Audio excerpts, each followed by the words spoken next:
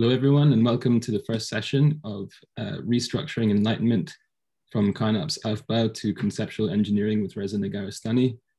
Um, I'll just give a brief description of the course before we get starting, and then I'll hand it over to Reza.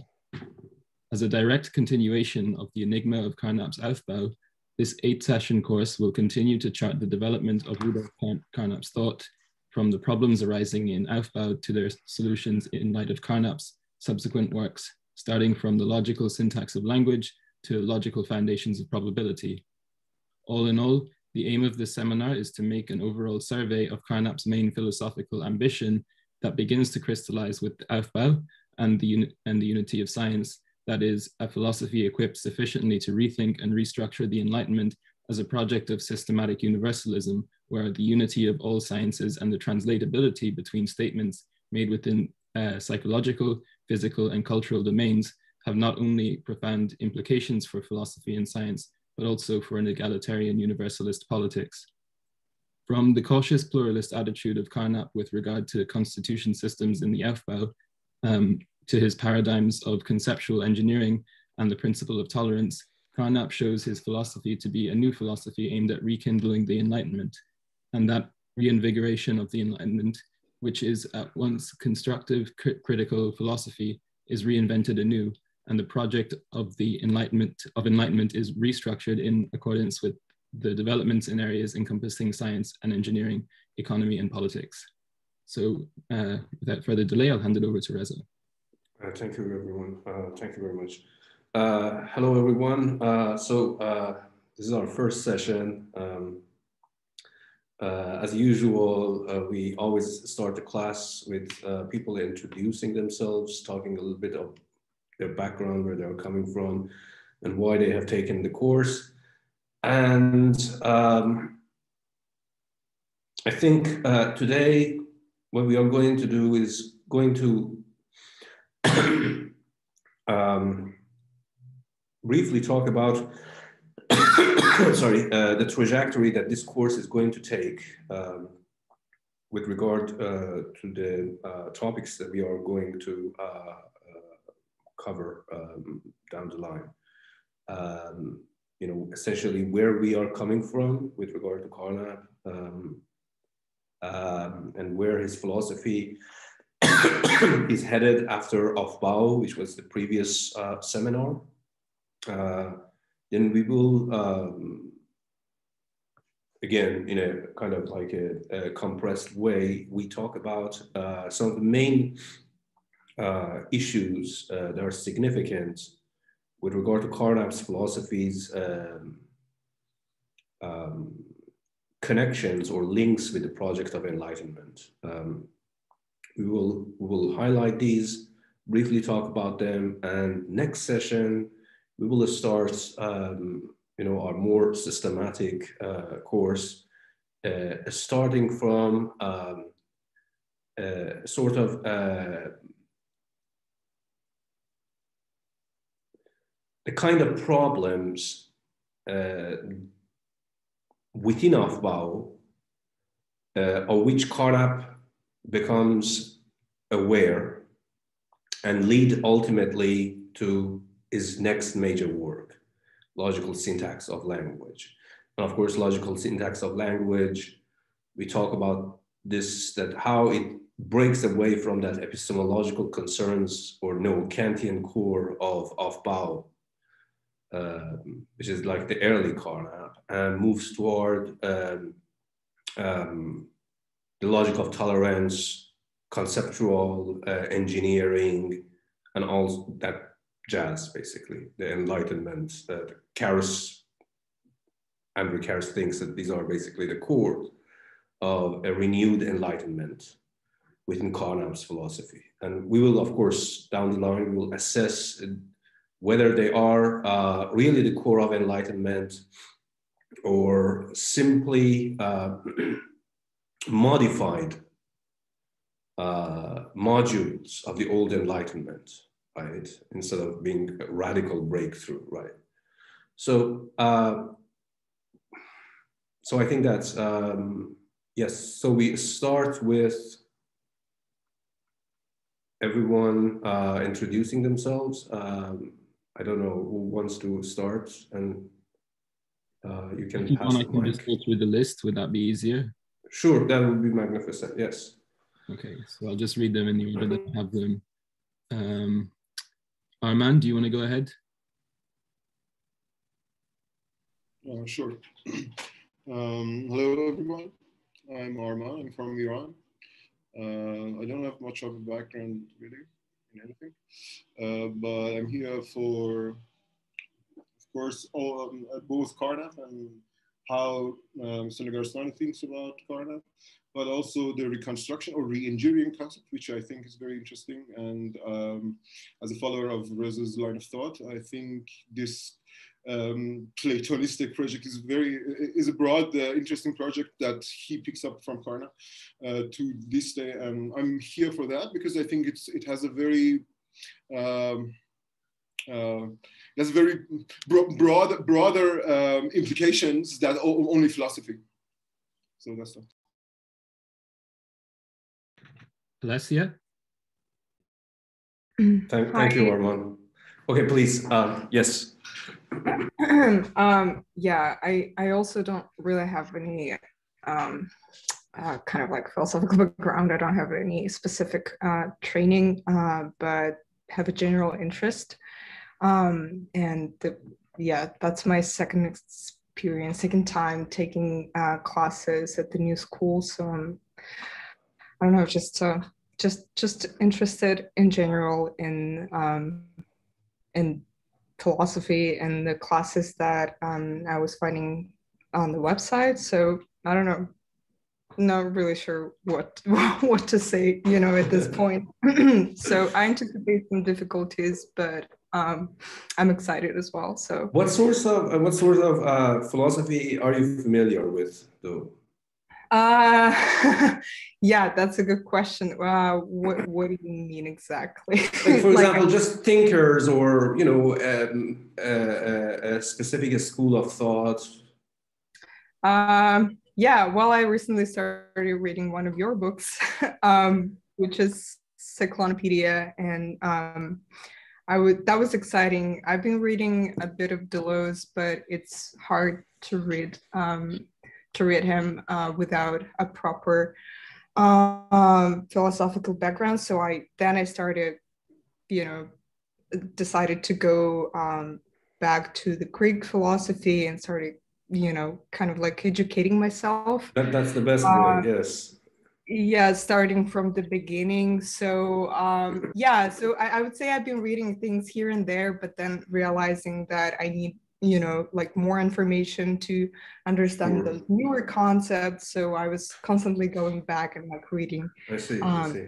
yeah things myself. So it's not that i really have you know any you know like formed idea of what kind of philosophy i sure sure. no that's that's good. that's magnificent. that's great so I uh, don't. I, my suggestion would be that absolutely stick with uh, your uh, way of doing philosophy. I mean, you can always I mean, to be honest with you, with philosophy, in terms of um, there are two ways to do it. One, as you doing it chronologically, either backward or forward, right?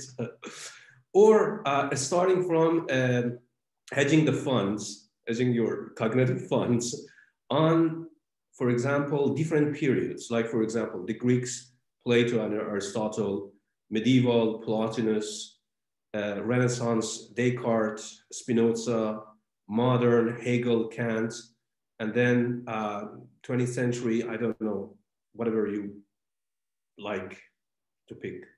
That would be also, that would be a, also a good way to kind of um, having a, a, kind of a, forming a synoptic view of philosophy by way of by way of approaching works from different periods, understanding that philosophy is proud of its history. And it is essentially the history of philosophy that's important, not the philosophers, right? So that actually, that, that idea that you start from the history of philosophy rather than a specific, um, you know, period, uh, that's also a, a, very good way to uh, look at it. Plus, you don't get bored. Mm. That plodding yourself through second book of metaphysics by Aristotle is actually not a good idea. Yeah, I mean, I that's the, I think that's a really good suggestion. So I, I I mean, I try to read not only philosophy but things you know like around it, some um, kind of studying um, history of arts and some cultural you know aspects around those periods, uh, and like I don't know, that's just yeah, I guess just gives sure, it. Sure, definitely modern modern philosophy should be if particularly now that it said that history uh, of um, art modern philosophy, you should uh, definitely start work on it. Kant um, would be basically the main figure. Yeah. and the, the, the, look, I mean, you don't need to. These books are difficult. All of the philosophy is difficult. You know, when if you are reading like them like a novel, yeah, everything is so simple. But when you get to the nitty gritty of philosophical arguments, and start to really tackle them like a philosopher, then they actually extremely difficult, very difficult. But good thing is that majority of these works, major works in the history of philosophy, right now have you know hundreds of secondary literature, which are actually some of them are quite useful. So you can always supplement it with you know uh, these uh, commentaries or, or secondary literature. I will. thank you. Um, Absolutely. Yeah. Should I stay? I Should I go? no. Anyway, I'll I'll see how it goes. I'm excited, but absolutely, um, absolutely, my pleasure. Thank you. Uh, the next person is Brian. Yeah, hi, I'm uh, Brian Kobalars. I Hello, sir. We know each other. yeah, we've spoken on Twitter a couple times. Oh, we have seen each other in New York. Have we? Yeah. Yes, you came to my one of my talks. I think Labor of the Inhuman, if I remember correctly. I'm not sure. I've, I've maybe it was a while ago, but um, yes. yeah, I um, well, it's nice to see you again. Then I um have an undergrad in philosophy. I'm mulling over whether or not I want to go to grad school big confusing question. Um, I'm here because I'm interested in conceptual engineering. I have been interested in it now for about five years. Um, I've spoken to a couple of the people spearheading it in the Ivory Tower, the academies, and uh, I was present at the NYU symposium in 2017. And yeah, I'm just, I basically have an unhealthy relationship with conceptual engineering and I want to be even more unhealthy and learn more things and just lose my mind. And yeah, that's why I'm here. Excellent, Ryan. Thank you. So next person is Connor. Hello, um, I'm Connor. I, uh, I'm currently enrolled uh, an undergrad degree for uh, mathematics at the University of Texas at San Antonio. Um, but most of my side time is spent with philosophy, and it's like nothing serious. It's really just being like What are you doing here? What are you doing here? um, I'm interested in Carnap because I read too much Marx in high school, and um, I think that um, um, I'm like the uh, what's the quote from the? It's like the man who builds this house on sand. I need a firm foundation. Um, and that example would be God, but this one would be Carnap, right? So the thing is um, that uh, uh, Carnap actually is the one who builds the house on sand. well, um, hopefully this house will be a better structure because uh, I've been re- reading some stuff and I really don't enjoy the uh, like the reduction of all like philosophy to like Marxology which is fun sometimes to learn this is actually worse. You, you get the reduction of everything into something called the given the erlet elementary experiences and logic. Uh, i've also been watching a lot of um, nothing serious a lot of random lectures been really enjoying that fantastic okay good I, lo- okay. I love hearing his voice his voice is fantastic yes his voice is superb and and the beard of course the dignitary beard thank you so much connor uh, Cassia. Hi, everyone. My name is Cassia. Uh, I'm based in Rio, Rio de Janeiro, Brazil. Uh, I have a background in philosophy. I'm a graduate student and also have a background in noise and experimental music. And currently, I'm writing a master thesis in which I investigate uh, the conditions the conditions through which the contrast and juxtaposition of counterfactual models of sociality and mind and our own can generate enough friction, friction to concretely transform our transcendental structures of experience, dismantling belief systems and word pictures such as capitalism and patriarchy. And for this, I use mostly Reza's Intelligence and Spirits, uh, Xenofeminism, and Mattin's conception of alienation in social dissonance. Thank you so much, Cassia, and great to have you again. Uh, Dilshad. Thank you. I Yeah, think hi, Dilshad is on a surgery, that's why. Oh, hello, Hi. how are you? Uh, my name is Dilshat. I'm a medical doctor. I have no background in philosophy. Uh, I took uh, Reza's previous seminar on Carnap, so I, I hope to continue this uh, uh, series of lectures as well. So looking forward to it. Absolutely. When he says that I don't have any uh, uh, degree in philosophy, he means that I actually can do philosophy better than other philosophers. Definitely not. Um, I'm just an autodidact, so Those are more dangerous people. Edna?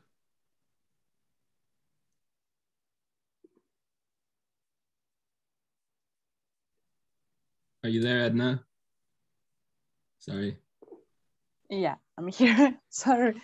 Um, uh, hi, everyone. My name is Edna. I'm from Mexico City. Uh, I'm a student of philosophy in undergrad school.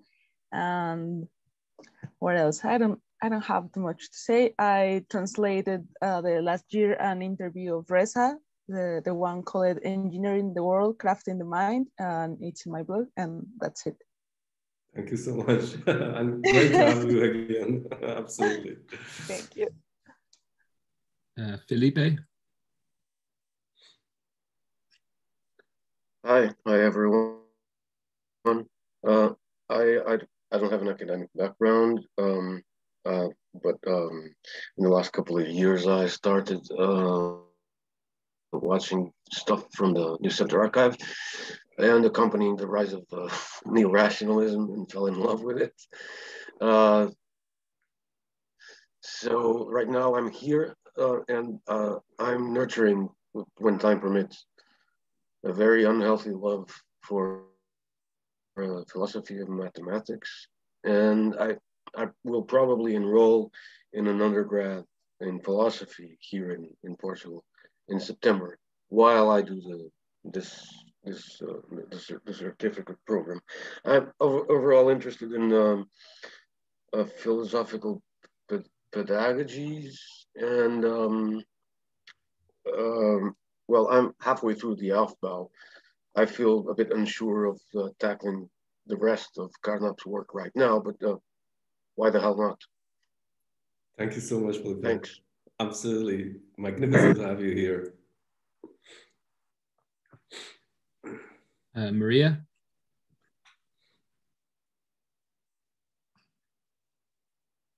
Uh, you're still on mute, Maria. We can't hear you.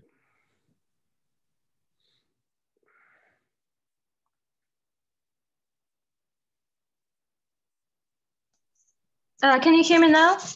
Yes. Uh, sorry for the sound. I'm very glad to see everyone. My name is Maria. I'm an art critic, so that means that I am more or less familiar with a few of the Marxian thought, but uh, not the rest of the philosophy. and I wanted to somehow uh, set it straight.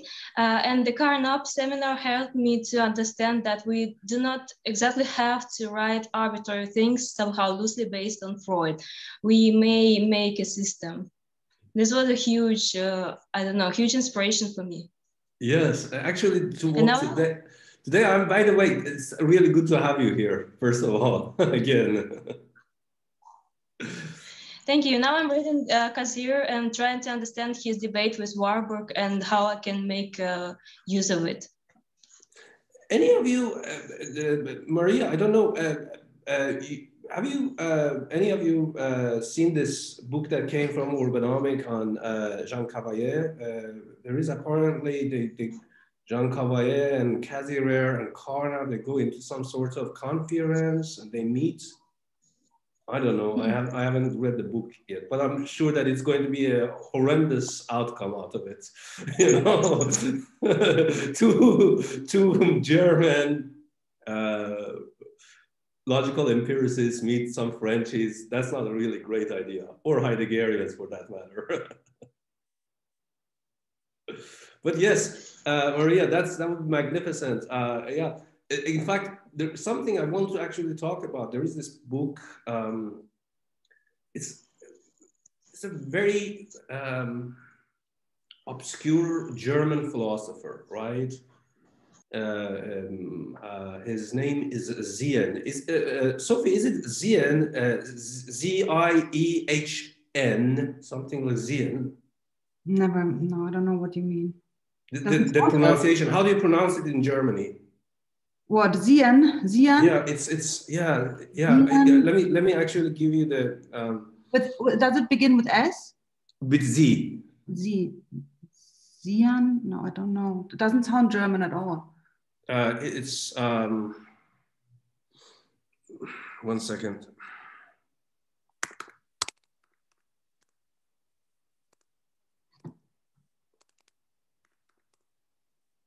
Um, it's Z I E H E N. Zish. Zish? No, I don't know. Zien. Uh, I don't Can you, know. okay, I spell it. Can you? Zien. Zien. Yes, Z I E H E N.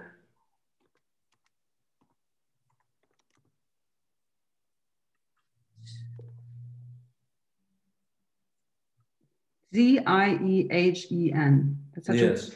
That's I don't know what that is. What is he a philosopher? He's a philosopher, yes. He, he, he wrote one book on experience and cognition and a massive book uh, called System, simply called System. Yeah, The- Theodor Ziehen, yeah. I think he's German because all of his books are in German. Zien. Ah, ziehen. I Ziehen. forget. Oh, I'm sorry. I thought see. No, it's ziehen. Yeah, that's German. Ziehen. It's like pull. Okay. Thank you, Sophie. Sorry. Um, um, so um, yeah, uh, so he he writes this book. Uh, it's, there are fragments of it in English uh, and some other languages, but I haven't seen it wholly translated. It is actually one of the main influences on Carnap and later system theory. You know, um, from Bertalanffy to uh, Luhmann and all of the, this is really the germ of, because you see, uh, obviously throughout the whole German idealism or German philosophy, high German philosophy, there was this um, high emphasis on systematicity, right? But this is the first book that actually make the concept of system explicit. I will talk about it, and, and you can actually research a little bit about this. Uh, it's a really good book, really good book.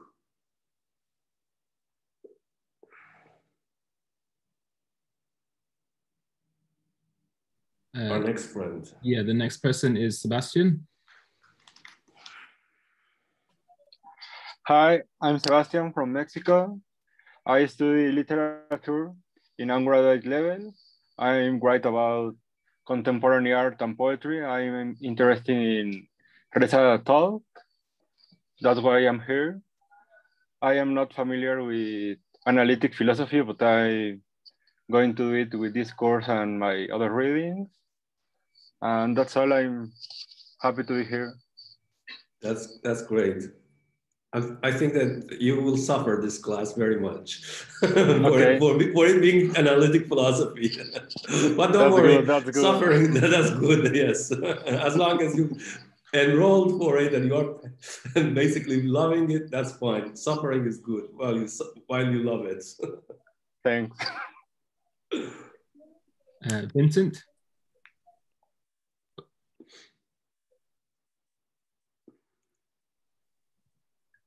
Hi, my name is Vincent. I am based in Manila. I have an undergrad in language and literature. I'm also kind of a philosophy dilettante, but I'm curious about the continuation where uh, Carnap's Aufbau might left off based on the previous seminar.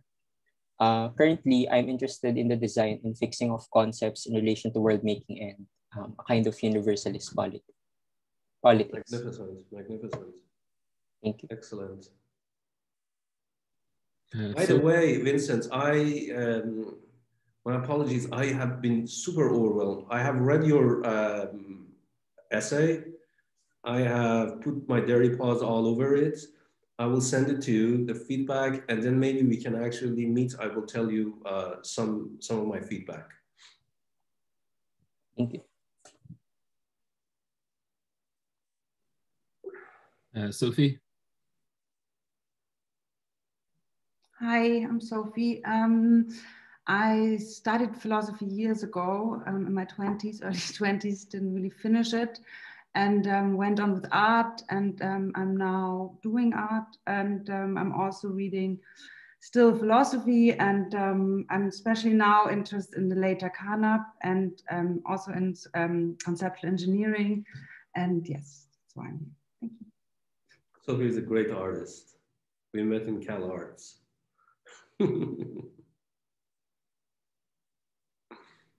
Zenobio. Hi, can you guys hear me? Yeah. Okay. So I'm I'm Zenobio. I'm from uh, Brazil, and uh, I'm finishing a undergraduate uh, degree in design. So I'm turning a design designer researcher. But I've had I, I've had some basic uh, background in chemical engineering and physics in my early beginnings at the, the university. But I've I've dropped out, and right now I'm I, I I'm holding on to not changing again my my kind of career to, to philosophy, but I I I I am gonna I'm gonna keep to to to doing design and bringing this new. I mean, design is a, actually a superb uh, discipline that goes uh, uh, with philosophy really well. I mean, people always say that, oh, mathematics goes with philosophy really well. But I think that design is one of those, you know, undervalued uh, disciplines that actually is like a weird sister with philosophy, right? They can go, uh, they can come hand in hand. Um, I mean, I have a few uh, friends uh, who are basically, um, they got their PhD in design, right? And they basically turned into philosophy of design and they have done magnificent, wonderful jobs. Really great stuff. Yeah, it's absolutely, you sh- shouldn't go to philosophy. I mean, hold your fort in design program. Yes. Thank you. Uh, I think that's everyone, unless I've left anyone out. Uh, no, I think that's it. Let's have a uh, rest uh, for, I don't know, like uh, five to 10 minutes, and then we come back. Yeah, sounds good.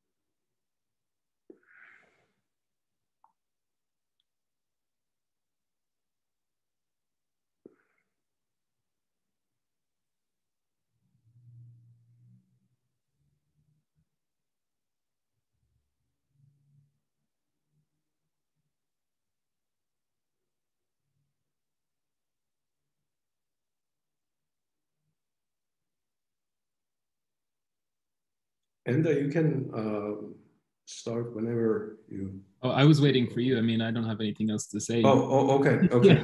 Well, you didn't introduce yourself, by the way. Oh, uh, well, I mean, I, I, don't really like doing it, to be honest. But um, yeah, I mean, I'm Enda. Uh, I've been in the previous classes. Uh, I'm, yeah, uh, I guess I have a background in philosophy and in art. Uh, I'm kind of somewhere between the two uh, seeking out communism as the form of the good, uh, or you know, like that kind of an approach, um, sort of political approach to philosophy or philosophical approach to politics, maybe.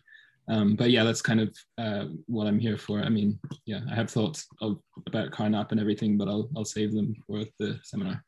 Absolutely, thank you so much. So, um, coming back to our um, class. Uh, perhaps it's actually good to talk about a little bit about uh, Aufbau. You know, um, of course, we are going to talk about it more in details. I mean, this was for those of you who didn't uh, take the previous seminar. Uh, the previous seminar was on Aufbau, uh, logical structure of the world, right? Carnap's first major work. um, of course, we are going to, next session, we are going to talk about uh, the problems that uh, lead to its downfall. Um, even for Carnap himself, uh, understands these um, shortcomings of, of, the, of uh, his first major work and his radical response to those shortcomings paves the road for what Carnap becomes later, right, as a philosopher of tolerance, logical tolerance, and conceptual engineering. Now, um, so perhaps it's best to talk a little bit about the status of logical empiricism or logical positivist. I prefer the term logical empiricism as I have talked about it in the previous seminar, rather logical positivism. Uh, talking about uh, its extremely controversial um, uh, relation with other philosophies. Think about no rationalism is bad. Think that logical empiricism is worse. It's a brand of philosophy that doesn't want friends. In fact, friends are not good it, it attacks every single philosophical school of its own time, right? Uh, and that's just not really a good idea in the history of philosophy. so, but, but nevertheless, they do it systematically, like, uh, and it's made of an ex of extremely uh, rich, intellectually rich uh, philosopher. Um, with, of course, different political inclinations, but mostly emancipatory. In fact, all of them are emancipatory. It's just that political inclinations can go from uh, extremes of left to kind of uh, centrist liberalism, like Moritz Schlick. Neurath being on the socialist side, yeah, and Carnap always being uh, trying to stay away from, um, philosophically speaking, stay away from uh, the hot air of political um, um, adventurism of his time.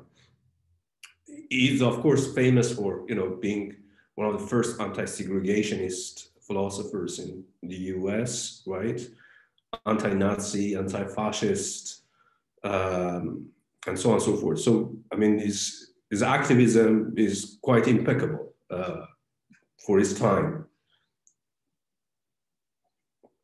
So, yes, so what, why is that this sort of philosophy that is in fact emancipatory creates such a vehement uh, negative response from literally from every other school of thought of its own time to the point that logical empiricism is just means that you are knucklehead dogmatist and nothing more. You're like, you know, it's just, it's uh, quite uh, savage uh, to the point that, so, I mean, the first attack that comes on uh, to Vienna Circle is by none other than uh, Quine, you know, two dogmas of empiricism which caricatures the position of Carnap uh, to an extent. So they, so we should understand that, you know, Quine is on their camp. They are all analytic philosophers, right? And, and in fact, Vienna Circle really um, they founded what we now today uh, know as analytic philosophy. So Quine is definitely on their side as, as an analytic philosopher, but he also caricatures uh, their position into dogmas. And of course, this gives a, a, certain kind of currency to other people, continental or analytic, which absolutely hate logical empiricism Carnap in particular.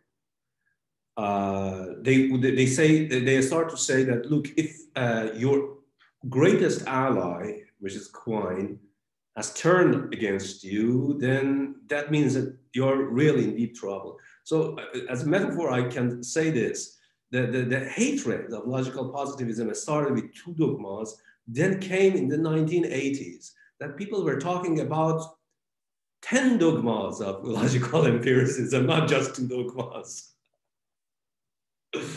so, uh, and this is, there, there is a, actually an essay, it's, it's not, uh, it's, I, I think it's called Seven Dogmas or Eight Dogmas of Empiricism, yes.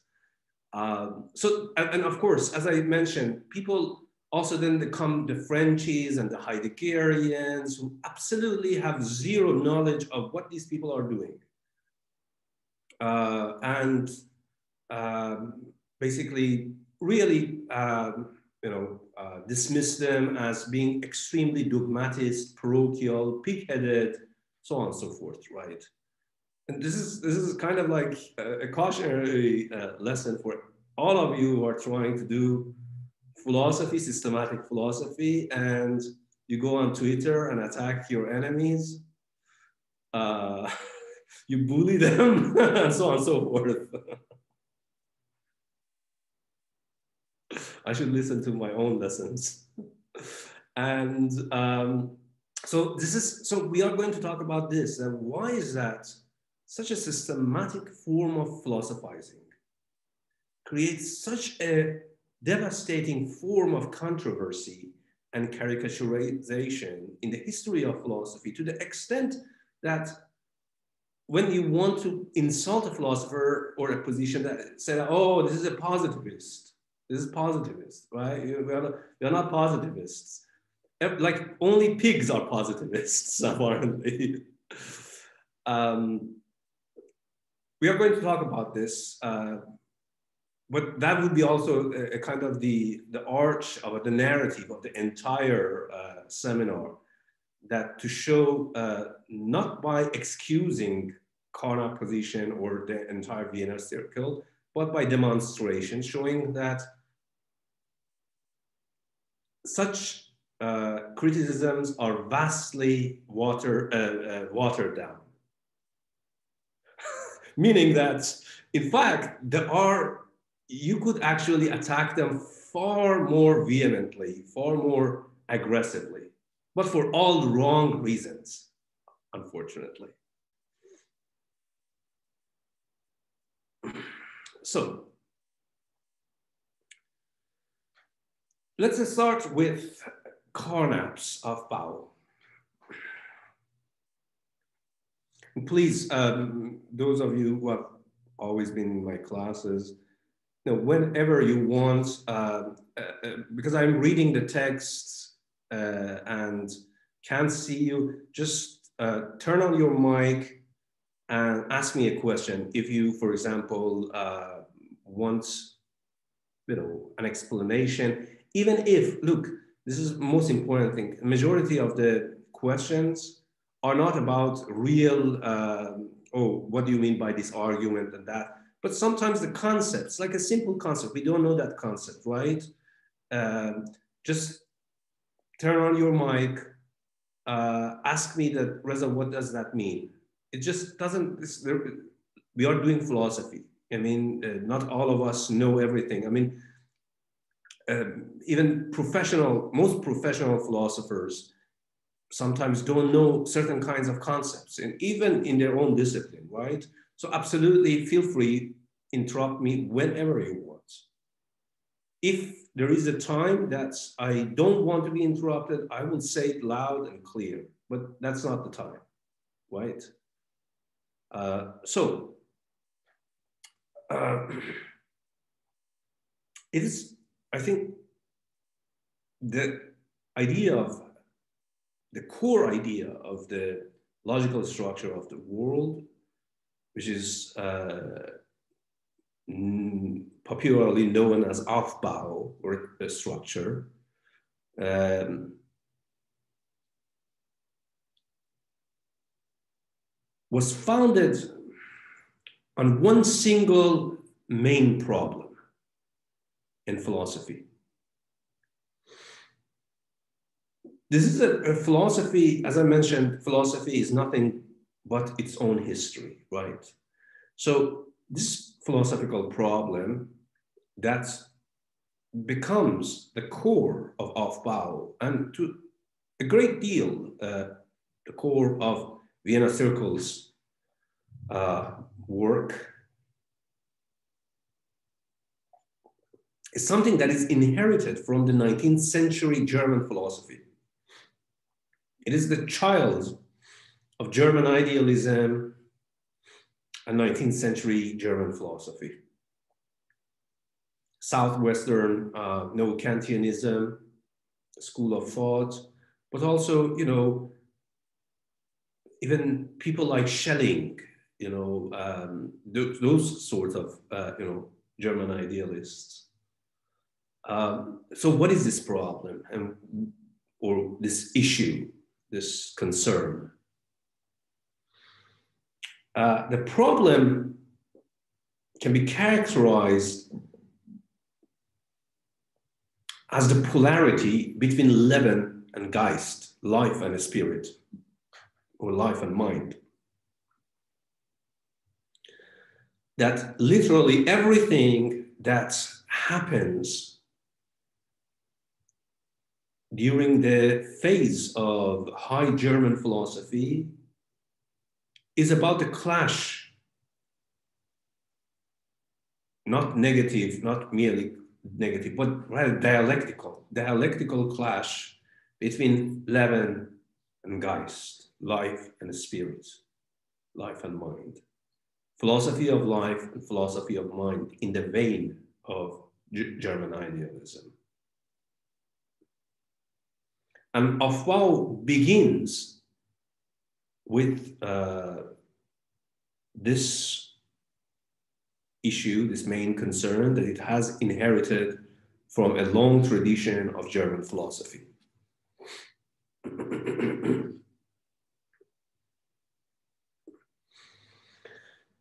this becomes, as I mentioned also, uh, the core uh, um, of any sort of philosophy, not just Vienna Circle, any sort of philosophy that um, arises at the beginning of the 20th century.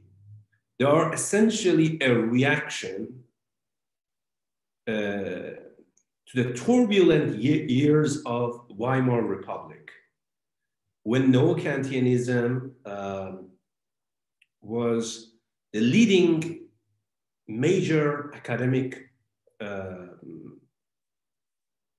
form of uh, philosophy or school of thought in Germany, right? Now, Carnap being one of the most ambitious of all bunch in the Vienna Circle, um, um, had his mind early on, from even before writing Aufbau, on precisely resolving the polarity, resolving this conflict, eternal conflict between Leben and Geist, life and spirit. of course,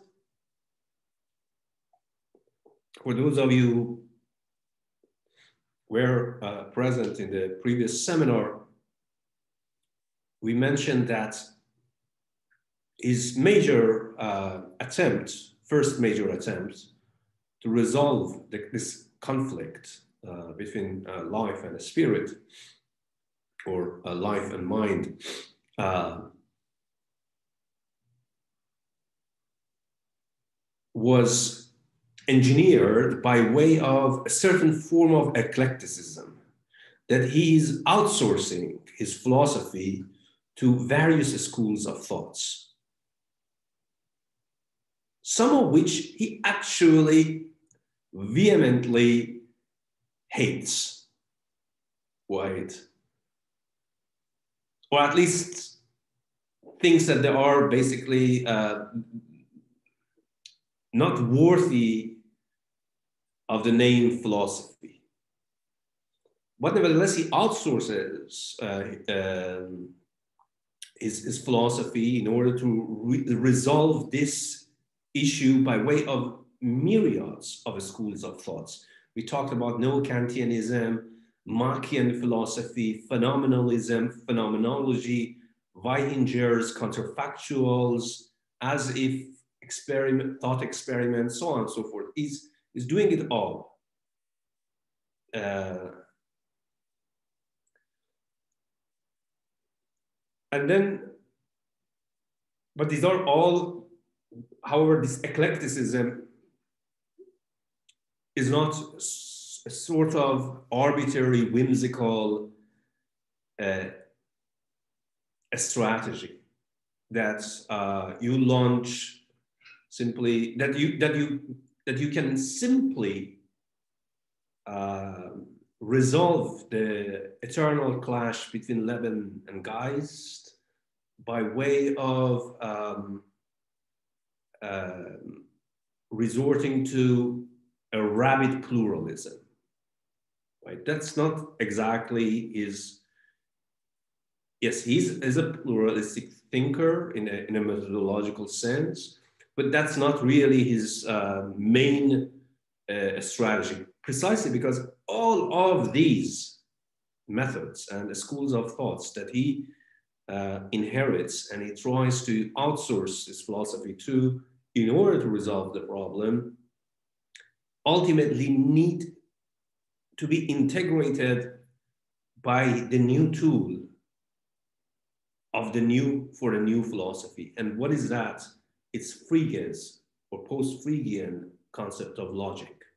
Logic is the integrative tool, hence the logical construction of the world, right? That ultimately logical integration of all experiences, that's the key for Carnap. So pluralism in this sense is not pluralism for the sake of pluralism, neither in the realm of methodology nor in the realm of um, attaining a solution uh, to the problem of the clash between life and mind. But rather, it is um, uh, what you might call to be a necessary step to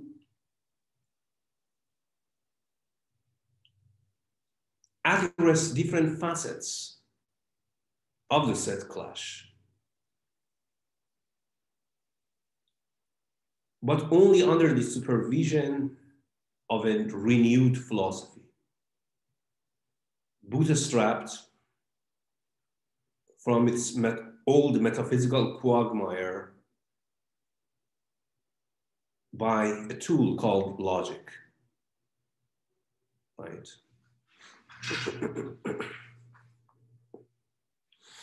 so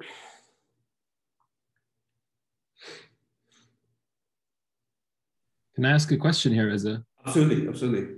Um, so in the previous seminar and in the introduction to this one, which um, I was reading out at the start as well, uh, you were using the word uh, constitution system, and in the book, it's it, it speaks of a constructional system. And it's I was constitution. Okay, and I and I'm kind of curious um, as to like, uh, you know, is this a purpose of sort of um, uh, use of this term? Because I've seen it also in Cassirer, where he's talking about a constitution system, but it seems more in a kind of, um, I, I guess, less as a constructive uh, procedure as much as something that might be uh, based on a kind of like a Kantian sort of understanding or something like this.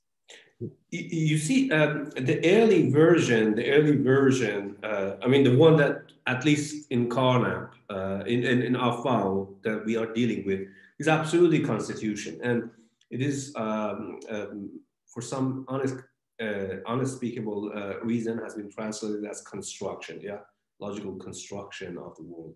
But no, it's um, uh, it's actually constitution, precisely because yes, constitution. Why? Because remember in Aufbau, our ground zero element is experience. Experience is what constitutes everything else, right? In incarnate. The thing is that, however, I'm this session, this seminar, I'm use, I'm going to use the word construction.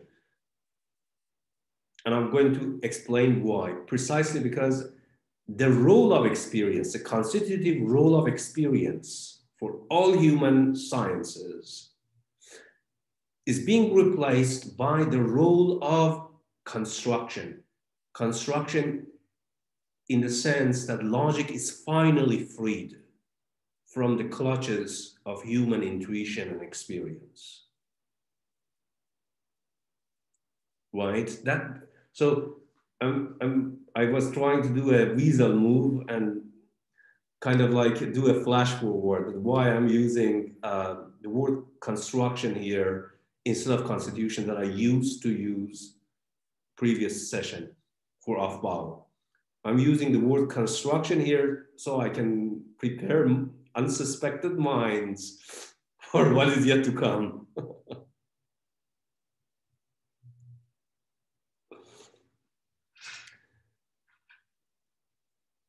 So, um, sorry, yes, so essentially, um, we should understand Aufbau at the very least is under three major influences. Lebensphilosophie, philosophy of life, neo-Kantianism of Hermann Cohen and Paul Natorp, which basically um, is, is, plays a major role in Aufbau. Remember, Aufbau is a book that purports to be an epistemological, logical project about the world, about any statement that we can ever make about the world. So those of you who didn't take the previous seminar, Aufbau has a one single formula in, in the broad sense. It is a book, a project, which has a twofold um, characteristics or characterization. It is epistemological and logical. Epistemological in the sense that it ought to answer to the question of human experience, of what we, how, of the world that we experience around us. And also it ought to address or respond to the question of logic. How we, we, how we construct or how we construct experience, how, how experiences are being constituted, and how we can reconstruct them, we can restructure them, such that we can actually talk about Felipe has this experience of the world And now we can scientifically talking about that specific experience of lipid, like seeing a red dot turning into purple and not something else and not something else. For us to do that, you need to have a logical pole of this project and not just the epistemological one. Logical reconstruction of any sort of experience is the most necessary aspect of talking about any sort of experience. Because if you can't logically reproduce an experience, then most probably you didn't have that experience to begin with. It's just think about this a naive example I am using here, uh, a comparative, and might be misleading, but for now we hold on to it. Think about this that there is no scientific fact if it cannot be scientifically reproduced. Have you ever heard that, you know, uh, thing, you know, that look, this is pseudoscience because we cannot scientifically reproduce it, reconstruct it, right? The same thing can be said about experience. If you can't logically reconstruct experience, then most probably it is not an experience. It's a pseudo problem of experience. Questions, heckling.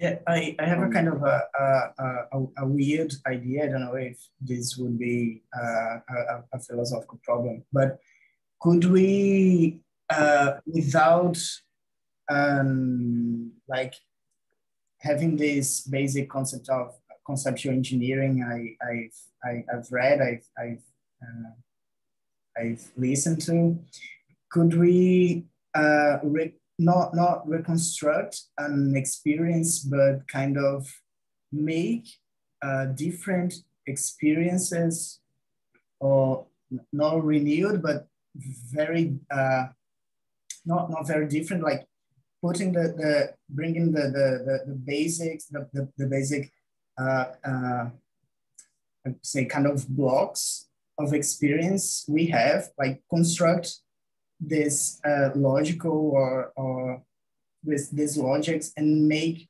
something without kind of a kind of a, a,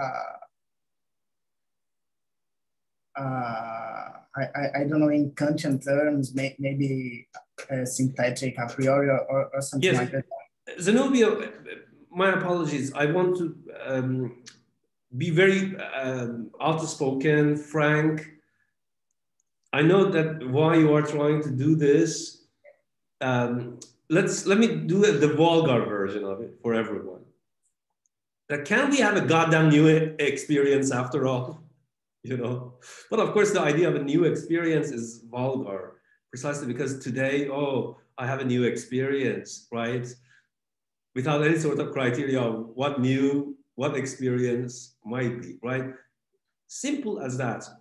Having all that, um, uh, what you might call to be careful, thoughtful factors involved, can we have actually a new experience, right?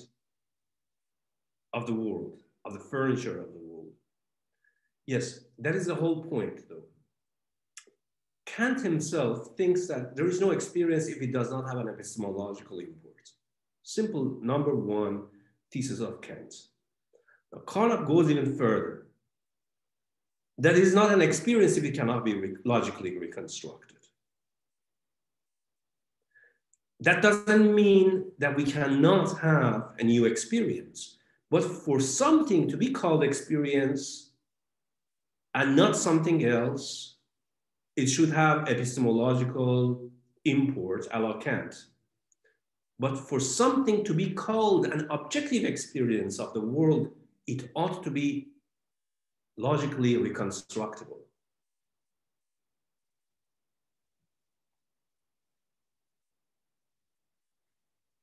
Of course, we are coming back to this with regard to the issue of conceptual engineering that conceptual engineering is kind of like a lubricant for having new experiences. My apologies, that sounded wrong. Gonna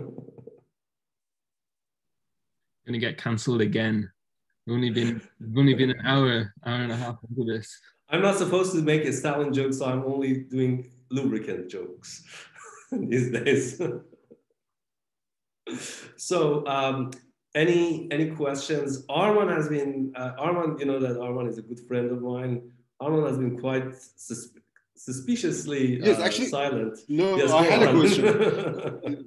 of course, you you you said yes. I had a question, um, but I I don't know if I can um, uh, if I can yet um, articulate it properly. That that's that, that was why I was. Um, hesitant to ask it, but I would try. Um, um, in what you said about uh, logically reconstructing this, uh, reconstructing an experience, and it's different, uh, and the difference between the epistemological approach to it and the logic and the pure logical approach to it, uh, something that when we use uh, the experience as if it is something uh, we encounter in the world um, through our senses and stuff like that, Then we try to logically reconstruct that, we um, wouldn't we come to um, at the end an epistemological an epistemological level of the question. For example, let's say I experienced No, the no, it's- presence of God in Yeah, I think that in Aufbau, I, I see what you are uh, trying uh, to do. You are uh, trying to look that ultimately, if it is experience, even if the logical reconstruction of it should be subjected to epistemological inquiry, epistemological testing, right?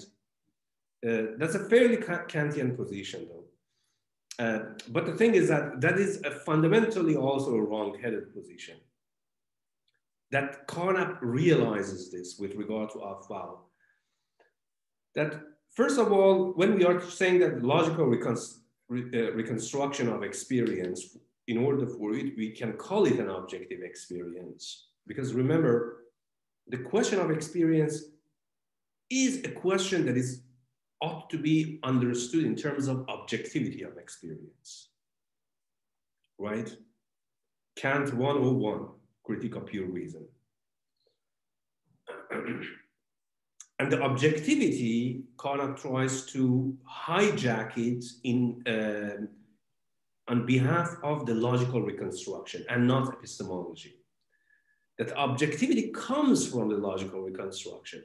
Now, the thing is that uh, in Aufbau, even in Aufbau, as we talked in the last seminar, the, the, the, the, sort of logical relations and logical reconstructions that we deal with early on for elementary experiences, like, for example, spatiotemporal similarity relations, are extremely rudimentary. They don't even have what you might call to be um, epist epistemological import, really.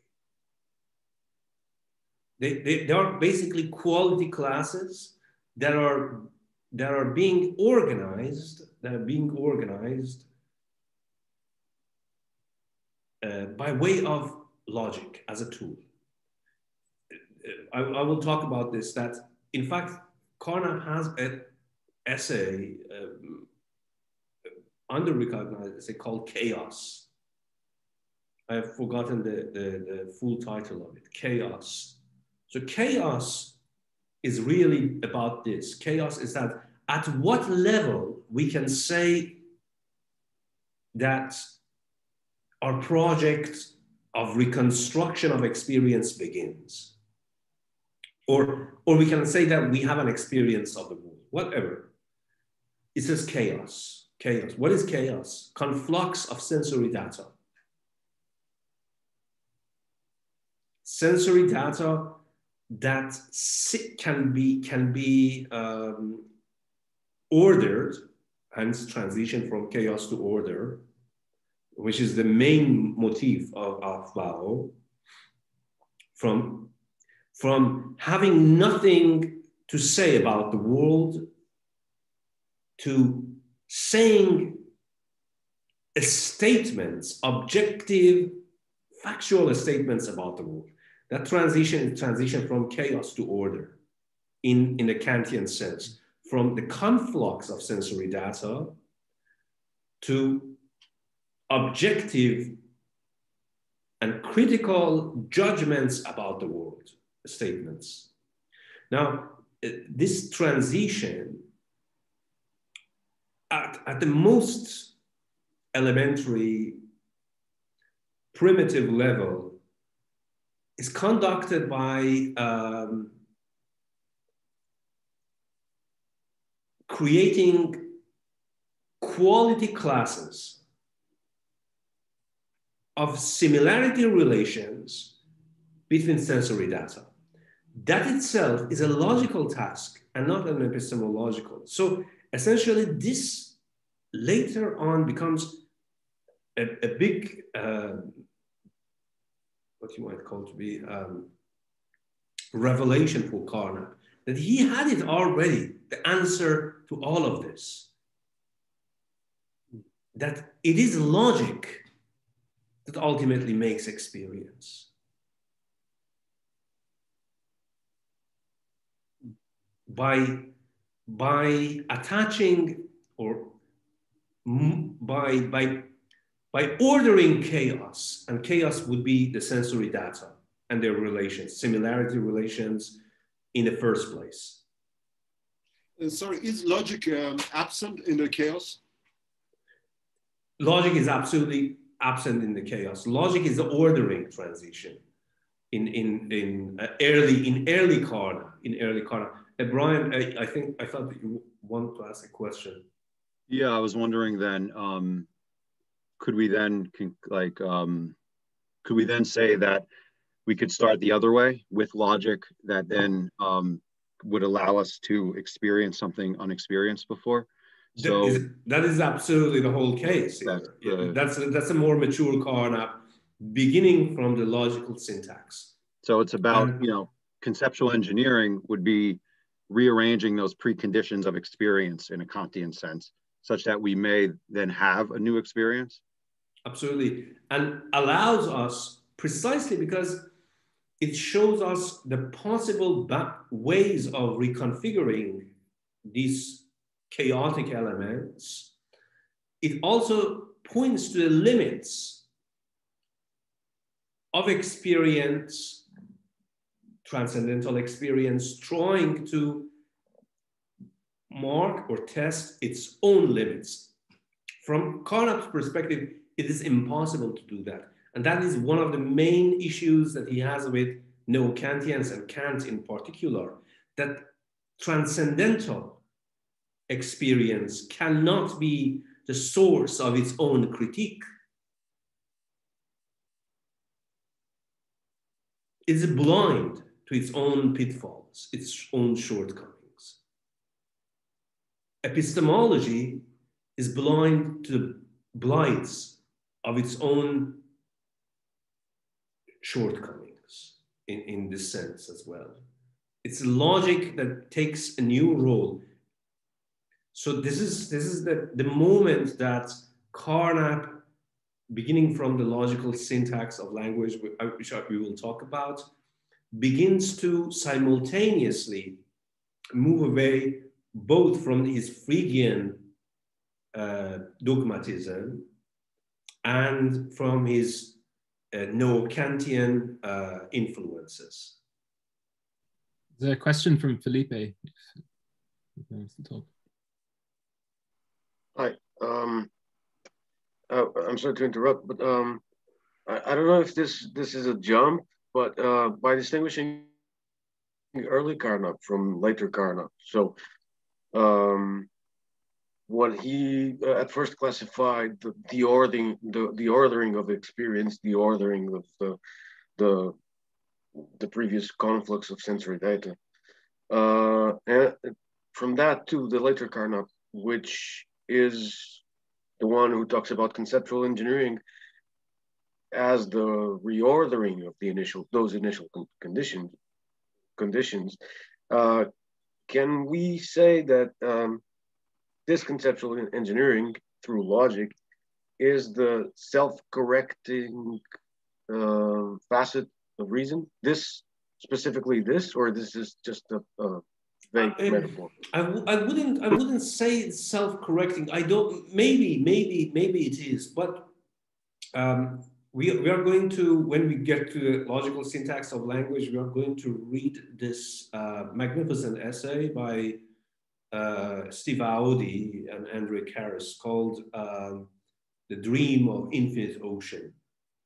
Um, uh, it's on Carnap's logical syntax of language versus Wittgenstein's idea of language, which they, they call it uh, uh, the Kantian straitjacket or, or Wittgensteinian prison.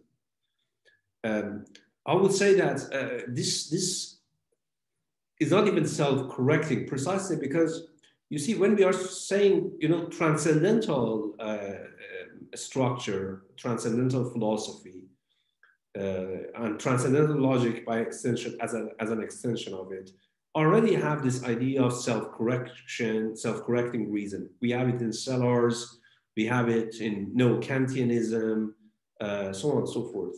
But the thing is that as i mentioned uh, just to brian and arman is that one of the main issues here is that how can experience transcendental experience rectify its own shortcomings?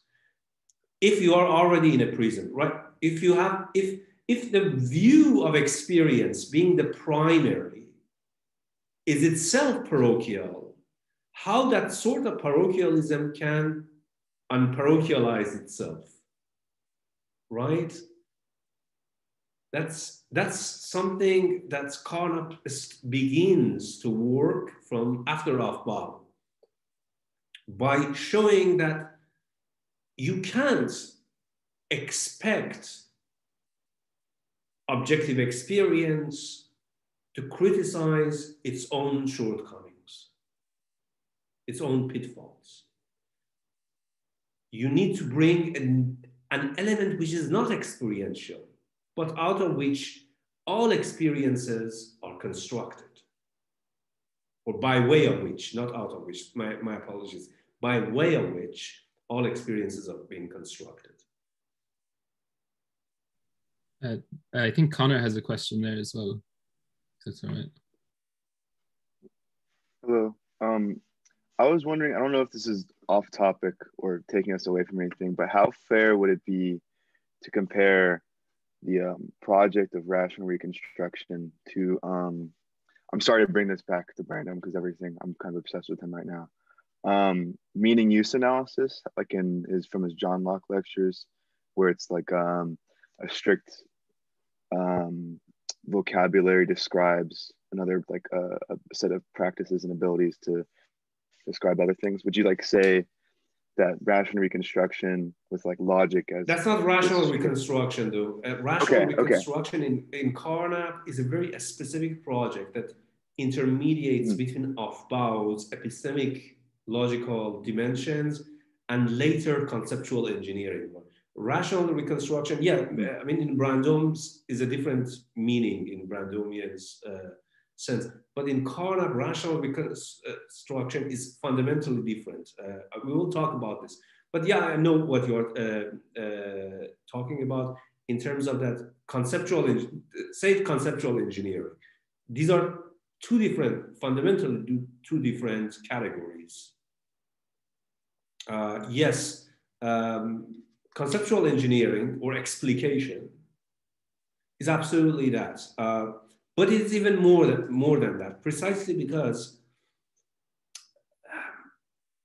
there is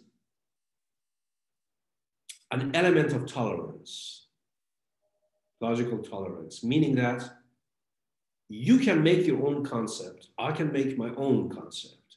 It's just that if you are going to make your own concept, you'd better be prepared to put every in extreme case, in extreme case, this usually doesn't happen, but you should be prepared in extreme case and you should get, you should have read it already to make the syntax, the logical syntax of your language as explicit and as clear as possible. You cannot just make some co new concepts without clearing or putting on the table the toolbox you use to create that kind of concept. And that would be logical syntax. Essentially, this is, I think, people, Kerr says that Carnap is a hero of pragmatism, right?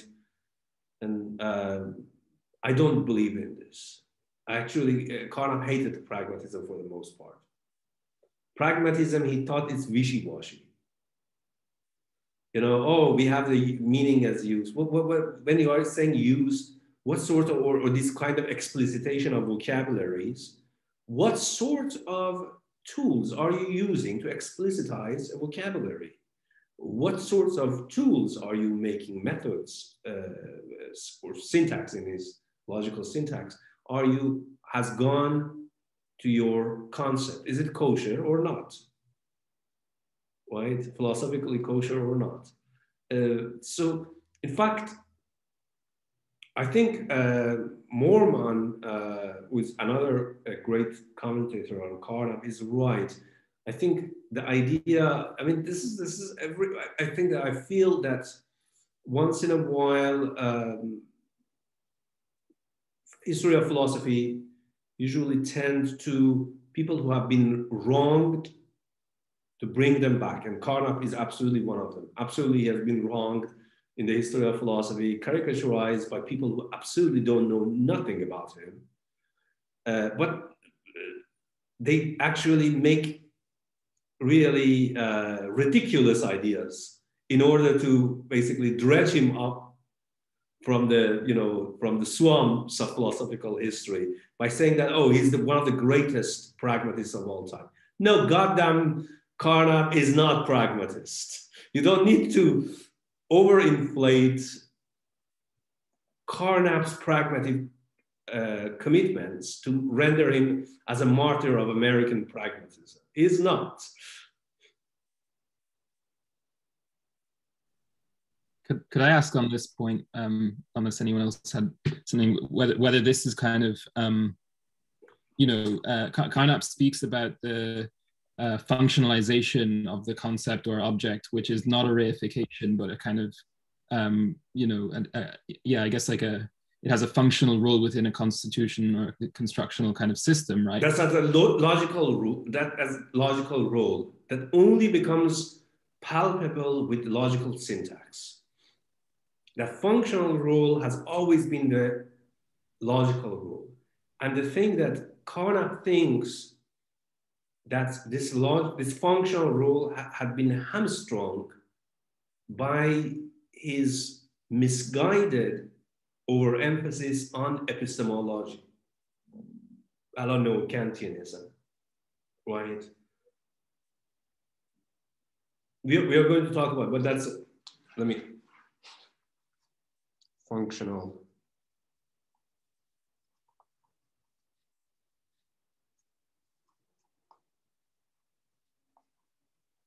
Okay. My apologies. One second. Give me one second, one minute actually. I will be back.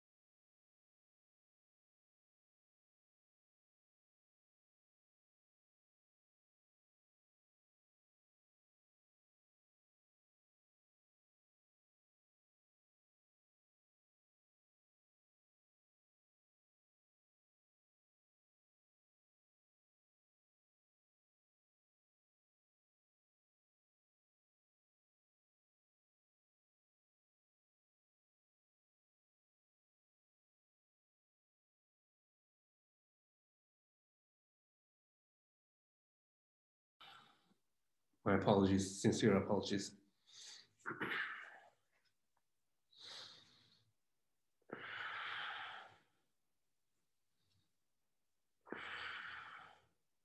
Any more question before I move forward?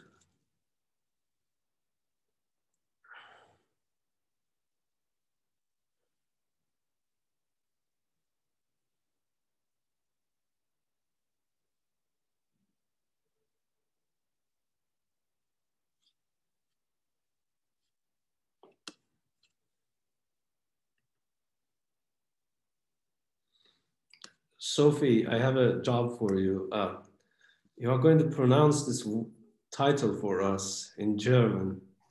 Okay. Yeah. I'm embarrassed to read it. Here. Oh God, okay, I understand. Ähm, Erkenntnistheorie auf psychophysiologischer und physikalischer Grundlage. Good, that's great. something. Tell us uh, your version of uh, translation.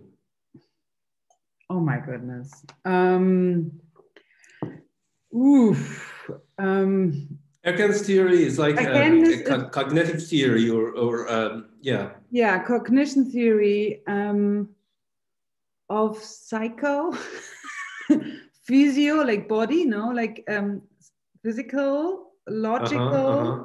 and um, um, physic, like physic. Like, This is why no one should learn German. They can't even translate their own titles. I mean, I don't understand. There are like three words in one in this. yes, that's that's a problem. but it makes sense somehow. yes, yes. Thank you so much, Sophie. Um, so uh, yeah, I was saying that uh, the th- three main influences of Carnap in Aufbau, one was, as I uh, mentioned, neo-Kantianism. The other one was um, uh, what was it? The uh, the life uh, philosophy, philosophy of life, you know. And the last one is a, a sort of a Machian, Er- Ernst Mach, Machian monism, uh, which is uh, whose main proponent during the time of uh, Carnap's early age, early philosophical uh, works is uh, Theodor Ziehen. Um, and this is his book, his, his main uh, book. Uh, we can call it just simply cognitive theory, cognitive theory, right? Now, um, now it, it seems that you know he's, just as I mentioned, he's outsourcing his philosophy too much in order to resolve the clash between life and spirit. But actually, it is not. Uh, precisely because um,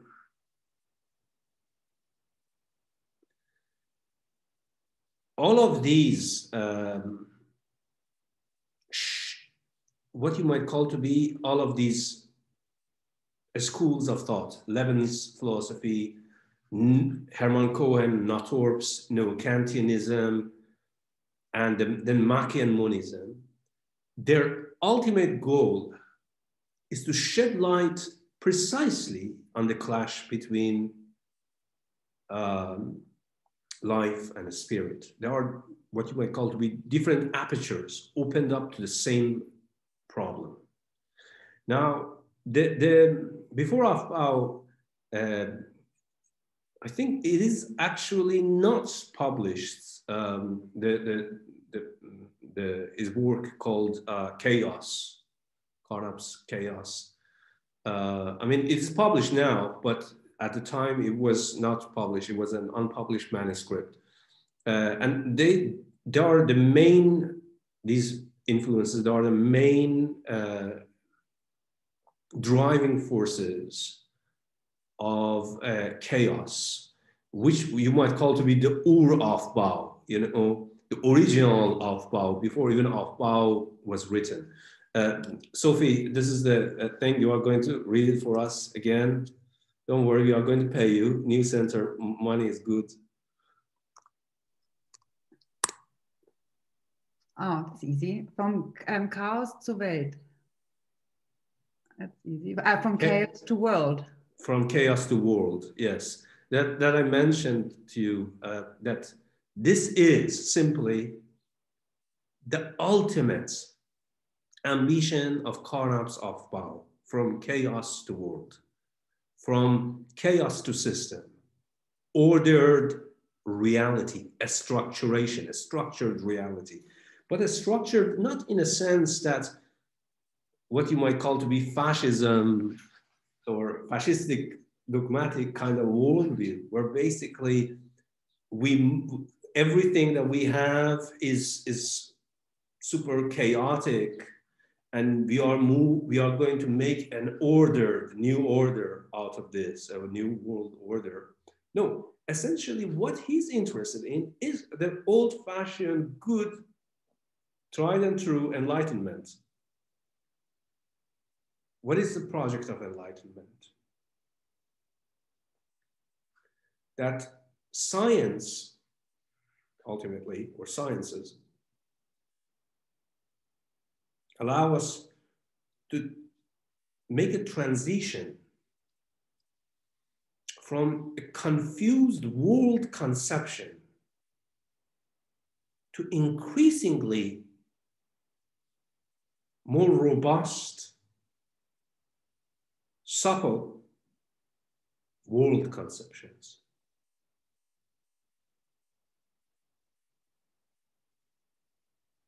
Uh, think Arab should give me some money for standing him like this. Go on, Cassie, my apologies. Uh, Reza, can this problem of the clash uh, between life and experience be translated somehow uh, in trying to think the relations, the possible relations that we can envision between uh, formal languages, the use of formal languages, and the use of natural language? Because this confusion and ambiguity of natural language is a, a great concern of Carnap in the, in the early works. Absolutely. Yes, yes, absolutely. So, yes, in fact, it starts from experience to kind of a logically logically reconstruct experience in Aufbau.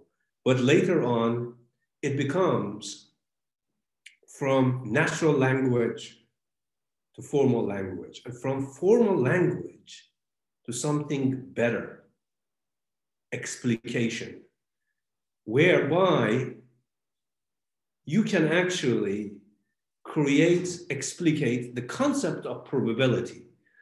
And through the explication of the concept of probability, re-understand the nature of language itself, natural language, logical probability 101. So you see that this is a, there is a twist in this. It's not simply saying that, oh, well, you know, we are moving from natural language, clunkiness of natural language to formal language. Quine also has it. But with Carnap, there is a certain ingenuity, ingenious twist at the end. The transition from natural language, the vagueness or in, in, in inexact concepts forged in natural language to formal language where you can make potentially more exact concept coincides with the possibility of an account of a machine that can capture all the richness of la natural language and even more, and even more. That, that's the computational thesis that is at the late chapters of logical foundations of probability. We are talking about it. We are going to talk about that. Why then Carnap seems to be quite aware that if this is the course of enlightenment, that what you just said is the course of enlightenment ultimately, moving from inexactitude given to us by way of natural languages, experience, or the manifest image, a la Sellars, toward more exact scientific this, that coincides with AI artificial intelligence in the strongest possible sense. And that's, I think, is not uh, a haphazard result. I think that pro most probably Carnap had already thought about it because this is exactly the thesis that Solomonoff, who, who used to attend Carnap seminars in the US, later on develops into Solomonoff's account of universal or optimal learning machine.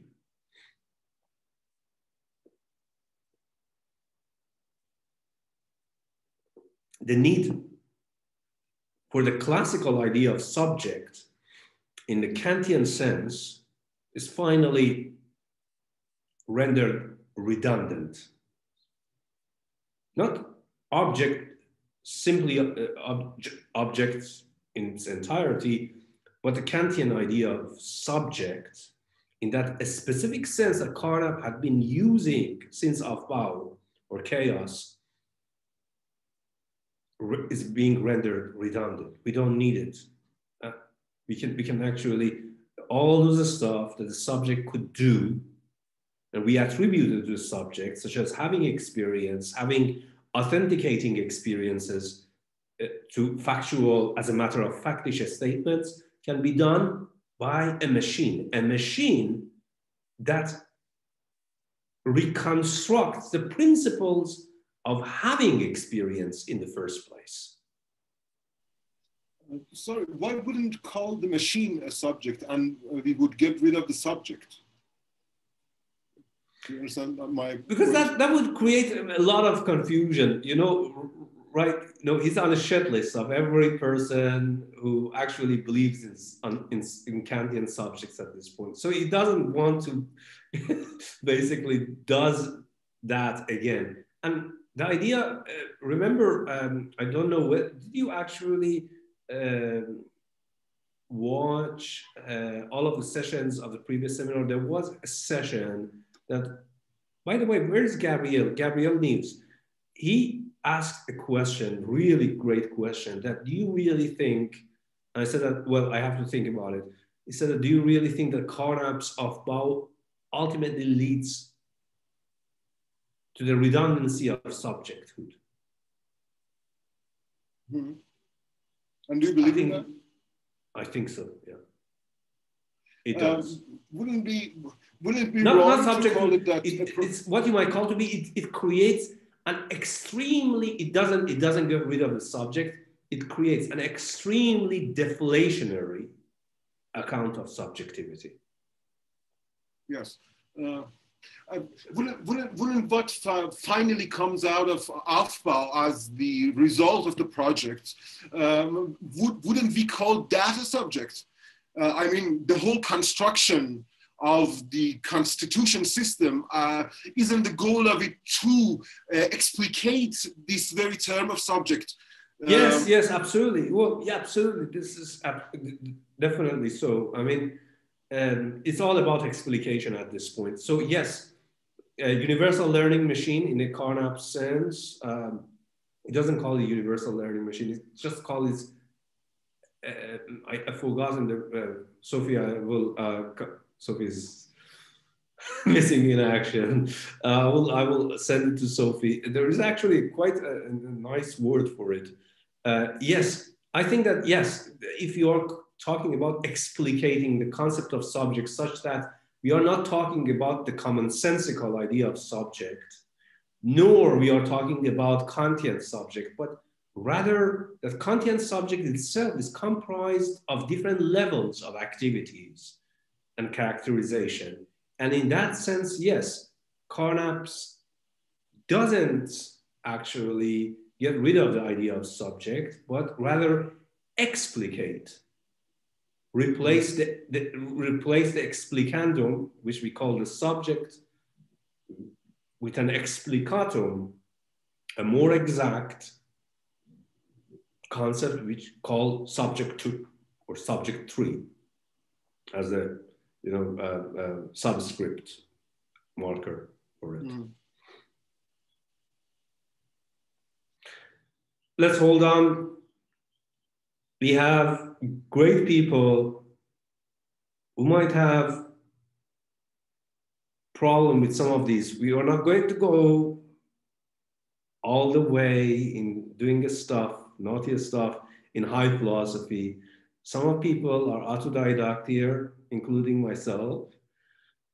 And we need to explain it in uh, simple terms. So, uh,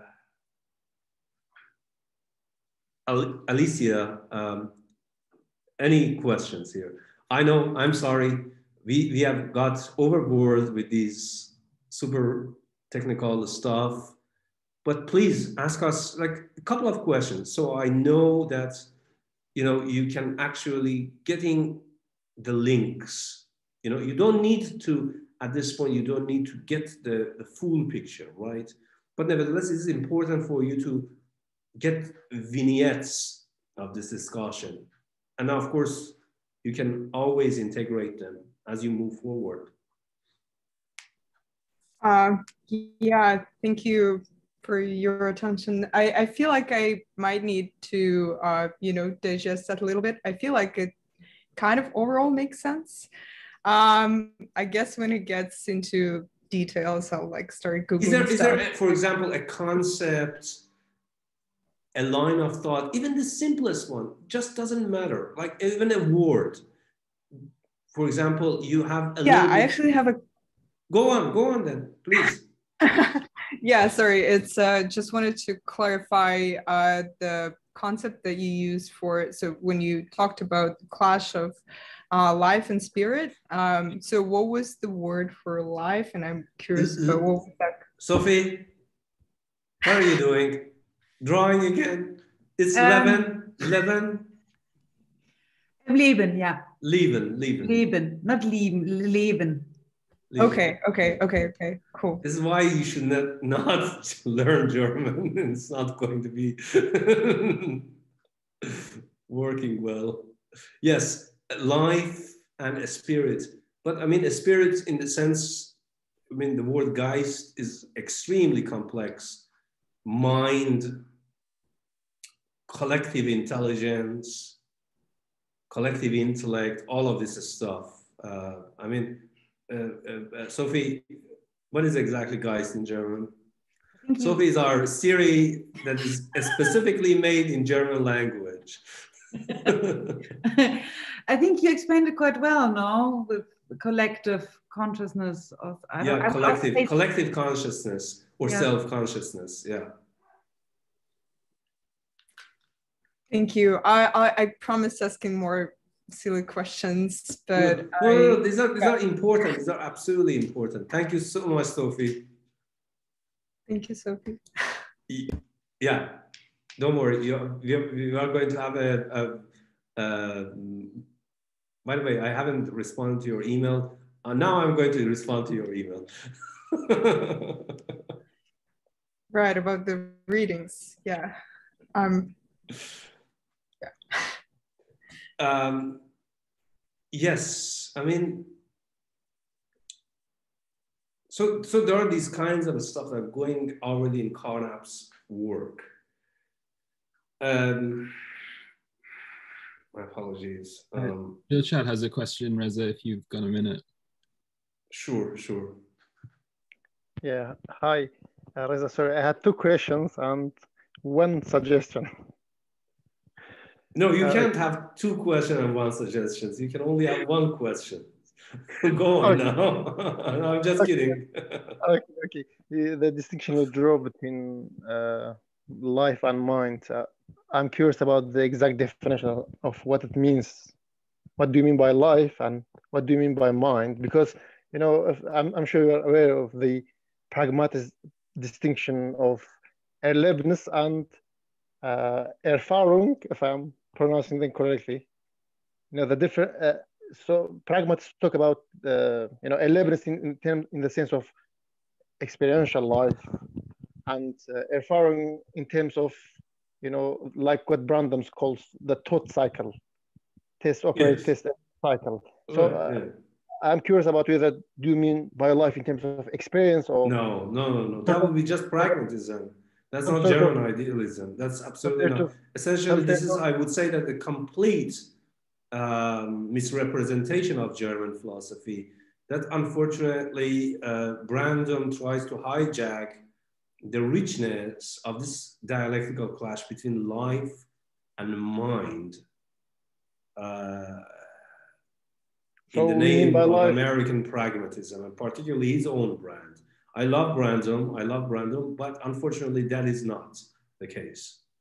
So do you mean by life in purely biological? no, know, no, no, no, no, no, no, no, no, no, absolutely not. No, and life actually in um, uh, German idealism absolutely has nothing to do with biology. It has organicism, it has organicism, but that is not really fully what you might call to be, can be subsumed within biological theories of uh, that we have at this point.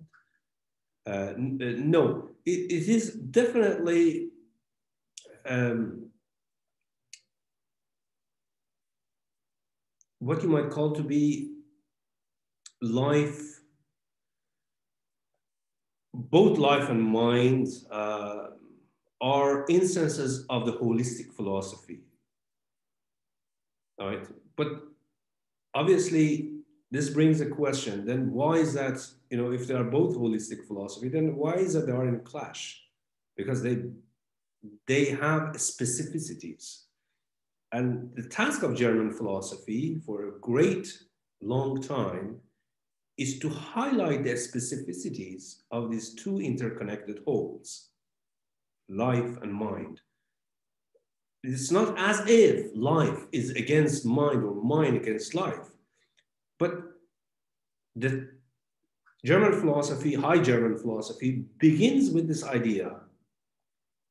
And this is um, before the rise of German Romanticism, in fact, that even though they are uh, sharing the same ground, have some commonalities, both holistic concepts, but obviously we cannot simply equate life with mind because that would create a massive amount of philosophical confusion.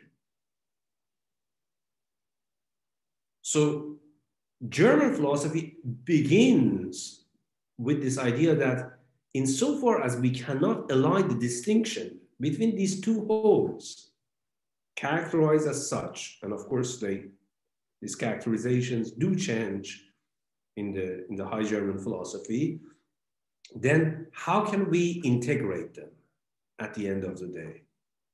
Integration rather than fusion, that's important one mind is different from life. That doesn't mean that they cannot be integrated though. But as I said, integration is not fusion. It's not that we are going to turn them into one thing.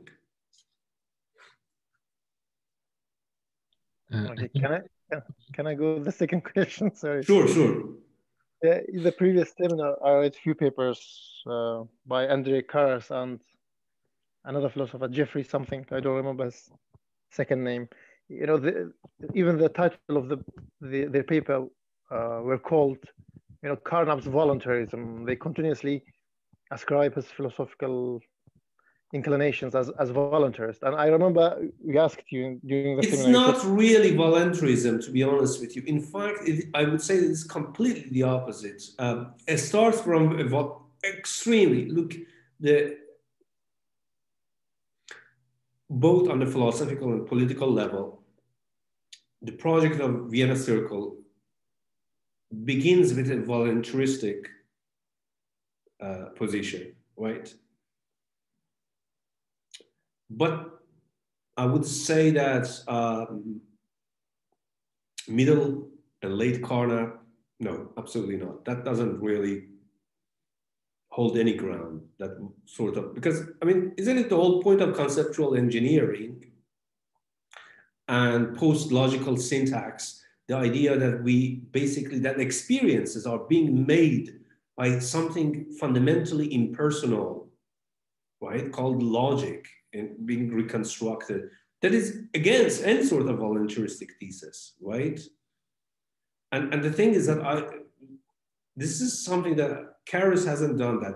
To be honest with you, Carus is a really good reader, but as I mentioned, is getting a little bit too overexcited about Carnap's uh, political agenda and so on and so forth. Um, yeah, doesn't exactly. matter though. Doesn't matter though. I remember your answer. You said, you know, inter, uh, voluntarism requires some symbol of intersubjectivity. But for Carnap, you know, the auto-psychological determination is what constitutes, you know, intersubjectivity itself. So intersubjectivity comes later. So they cannot Absolutely, and in, and in the later works also the inter, that look intersubjectivity. When we are talking about intersubjectivity, we also need from if we are becoming mature Carnapians, we have to we have to explicate it. What do we mean by intersubjectivity? At what level? When we saying intersubjectivity, do we mean something like this shoddy Habermasian rational communication, or do we mean um, uh, something more like a Kantian idea of intersubjectivity, that every objective, every objective claim is intersubjective. That's also Husserl's thesis, right?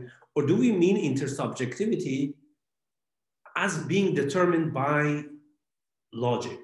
So Carnap is on the latter.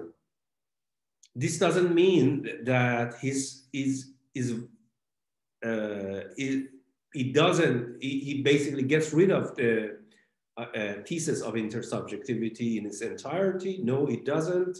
It's just that his intersubjectivity takes place at a certain level that does not allow this, those or certain kinds of voluntarism that we usually associate with intersubjectivity as an explanandum, meaning an inexact, colloquial, common sense idea of intersubjectivity, whether philosophically or not. I don't think that Carnap is a voluntaristic thinker at all, but that doesn't make him uh, a philosopher that uh, wants to uh, basically throw the baby with the bathwater with regard to the, the question of intersubjectivity. The last point, sorry. sorry, I'm so sorry. Uh, I'm the last one to tell you how to teach, but if, if it's not too much, can you please, when during uh, uh, le the lectures, can you share the points that you are you know, teaching from? Because some, you know, sometimes it's difficult to concentrate on what you are saying because you know we are not. Okay, how about this? From next session, not this session, uh, this uh, from next session, I would create. You know, I, I know what I'm going to talk about, even though probably all of you have noticed that I'm a freestyler when it comes to teaching. I, I don't want a script. I think that's that's just not that's rude to people. Yeah, I understand. Just uh, for example, I will, I will, I will definitely. I know, uh, yeah. So I wanted to say that I know what I'm going to talk about, even though I give myself some liberty to how do it. But I will definitely make a list, like four or five max per session. That these are the kind of stuff that I'm going to talk about, like the punchlines. Um, I will definitely include some Stalin jokes too.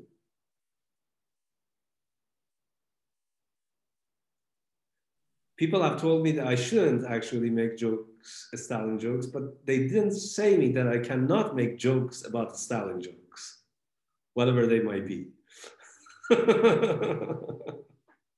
Uh, I think Maria has had a hand up there that uh, Maria wants to ask a question. Uh, yeah, I wanted to ask uh, where we can find the life philosophy uh, in uh, Carnap. I thought it might, be perhaps air lab, how we perceive things, and uh, quasi analysis is some kind some kind of colloquial uh, agreement between people, uh, but I understand it uh, incorrectly, of course, because this is a Heideggerian understanding of uh, talks between people and why we cannot assess truth. Uh, this is the Heideggerian reading of life philosophy, but Carnap's is different, and I wanted to understand how different it is in, in what aspects. Essentially, this is this is a really tricky question Uh, really good question. Yeah, Heidegger is a bloated uh, living philosopher, right? Uh, living philosopher. Um, Sophie is now looking at me weirdly. Um, in the sense that he wants to talk about life as if we had a concept of life. As if a concept of life was given to us in the fact of having an experience. But that's obviously nonsense, right? How can the concept of life can be given to us by something that is going to become life for us, the concept of life? That's, that would be just a vicious circle. So what we are going to do, it begs the question. So what Carnap was trying to do is saying that, look, our idea, this is actually, is already, see, philosophers, when they are good and they are great, actually, I have noticed that they have a gift, the Socratic gift, the Platonic gift, that even if you're talking out of, my apologies, your butthole when you are young, but nevertheless, you are talking about certain kinds of main important issues. For so many years, you forget about them, but they always come back and haunt you. And then you notice that this has always been the motif, the underlying problems of your own work. But that doesn't happen until a philosopher becomes mature intellectually, not by age, but by, by intellect. The same thing about Carnap. So Carnap already sees all of this in Aufbau. It's just that he doesn't have a way to articulate them as the main issues, as the underlying issues behind all of his works. It is only later, after, after, after negating his earlier works, that he comes back and, and rescues some of the most important parts of his earlier philosophy.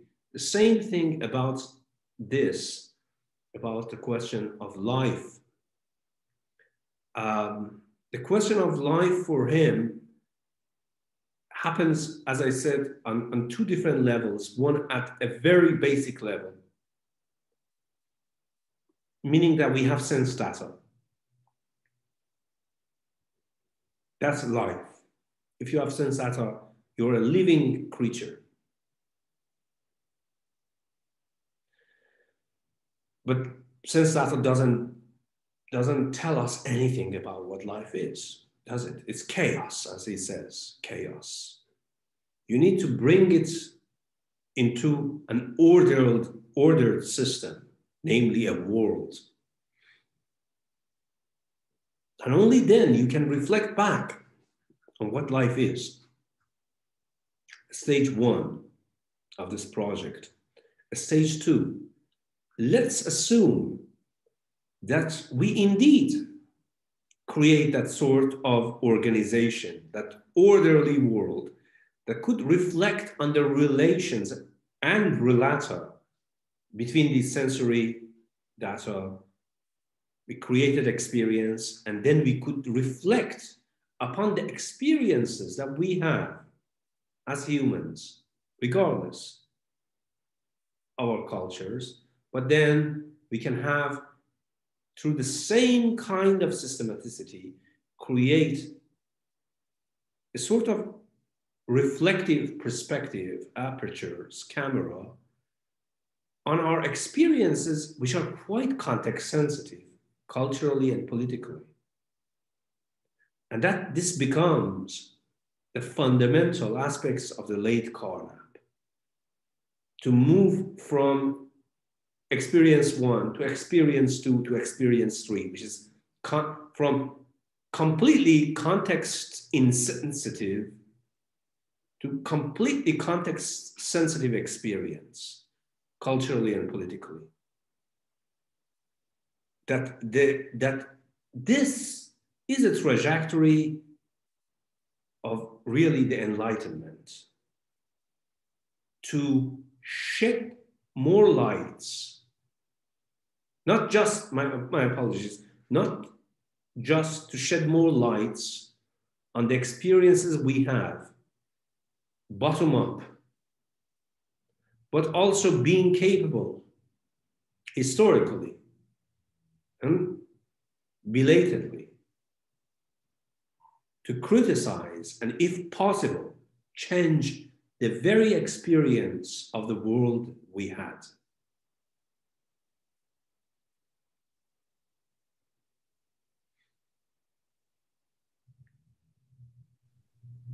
I have a follow-up question to this, if it's okay. Um, if I'm not under, uh, misunderstanding what's going on here, you could maybe make the analogy with uh, what Carnap is doing and what Carnap conceives philosophy to be, uh, as in some sense, uh, building of the armature that that is kind of uh, like both retrospective to experience, but also conditions the possibility of future experience in a sense. And of course, I'm not saying that there is some kind of primordial experience that happens before any of this. It's always kind of along a continuous line. But nonetheless, I, I'm not sure, other than in terms of like negative constraints on on uh, you know what the possibility of future different new experiences uh, might be. Does this philosophy have anything to say in terms of practices um, or is that are the, would that be the same thing? Or am i being quite like no no. i mean you're, you're bringing a question. This is i think that this is question hard to answer. Do you know why i actually saw that you brought uh, uh, john uh, dewey as um, a pragmatist uh, critique of carnap?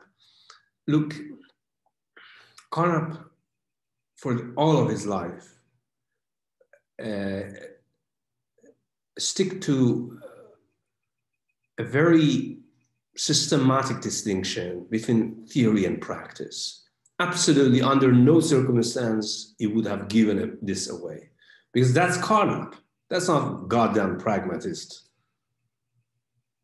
To be honest with you, I am on side of Carnap on this level. I'm a Platonist. Uh, so what does Plato actually talks about? You know, what does the distinction between theory and practice translate to mature Plato, the king of all philosophers? What is it? He try, he basically identifies this distinction between techne, technique, and episteme, know-hows and know-whats. So in everything that we do, in fact, in how we concept, make a concept about a thing, about an object, like pendulums, we go back and forth between know-hows and know-whats. Some of our know-whats, how we know that this is such and such kind of object, requires know-hows of how we are going to deploy some sort of concept, so on and so forth, and the other way around.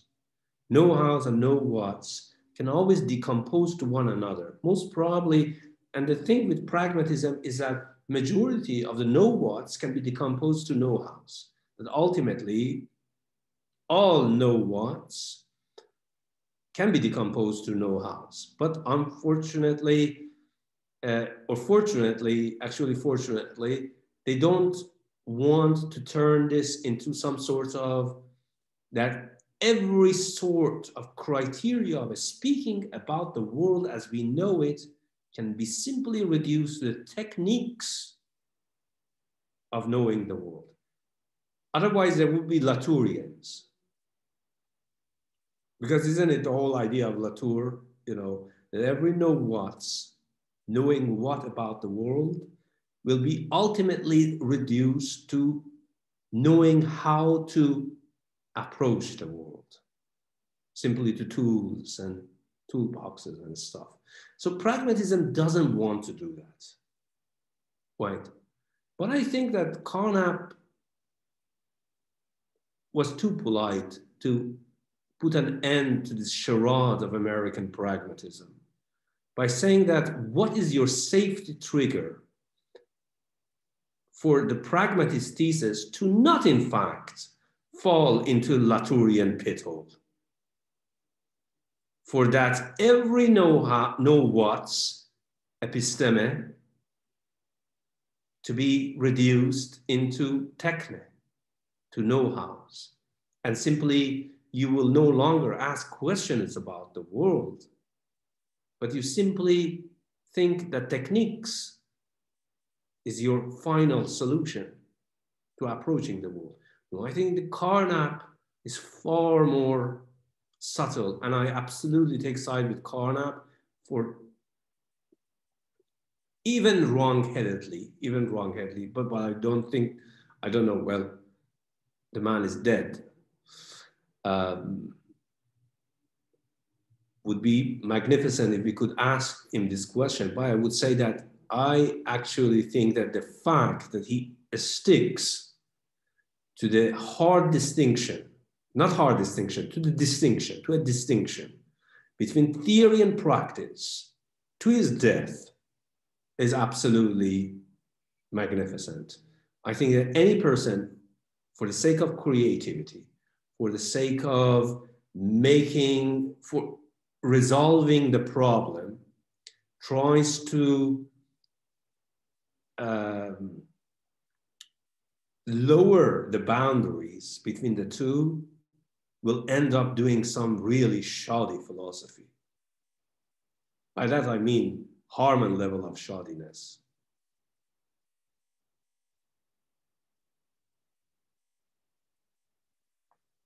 So Reza, uh, how can we then uh, interpret the your uh, your claim in Intelligence and Spirits about uh, the coincidence of ethics and logic as both uh, a system of uh, recognitions and a system of cognitions? Mm -hmm that's a that's a um, you know that whenever I actually someone asks me about that, so Reza, what do you think about your uh, this thing? And you know, now I'm thinking that oh shit, I'm now in trouble now. I wanted to go to tell uh, Cassia that look, uh, this book came in 2018, and sorry, I think that is shit book. I'm not going to talk about it, as always. but but the thing is that I think this is actually an interesting question. I need to think about this, but let's look about this with regard to the question of Vienna Circle. Vienna Circle uh, position with regard to the question of ethics, right? Obviously, there are, I mean, uh, people like um, um, Moritz Schlick, Neurath, uh, uh, Feigl, even Carnap, they hated the idea of morality, moral philosophy, moral philosophy. I mean, moral philosophy in the technical sense, moral philosophy. But they, they nevertheless, they had an idea of ethics. So one of, uh, of course, we are going to take this whole introduction because we are running out of time uh, to the next session.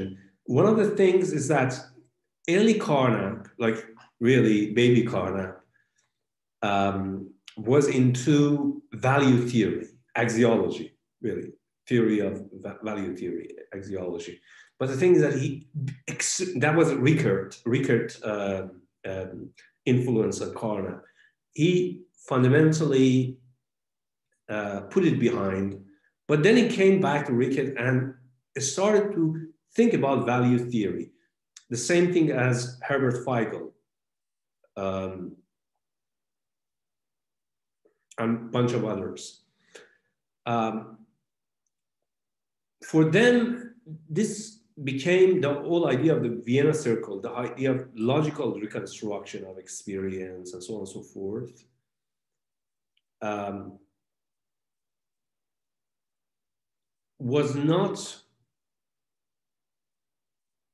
uh, excluding the sort of social, political, mutual recognition, the activist part of Vienna Circle.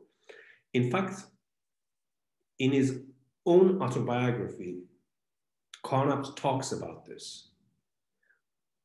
And he references uh, Feigl, Herbert Feigl, his friend,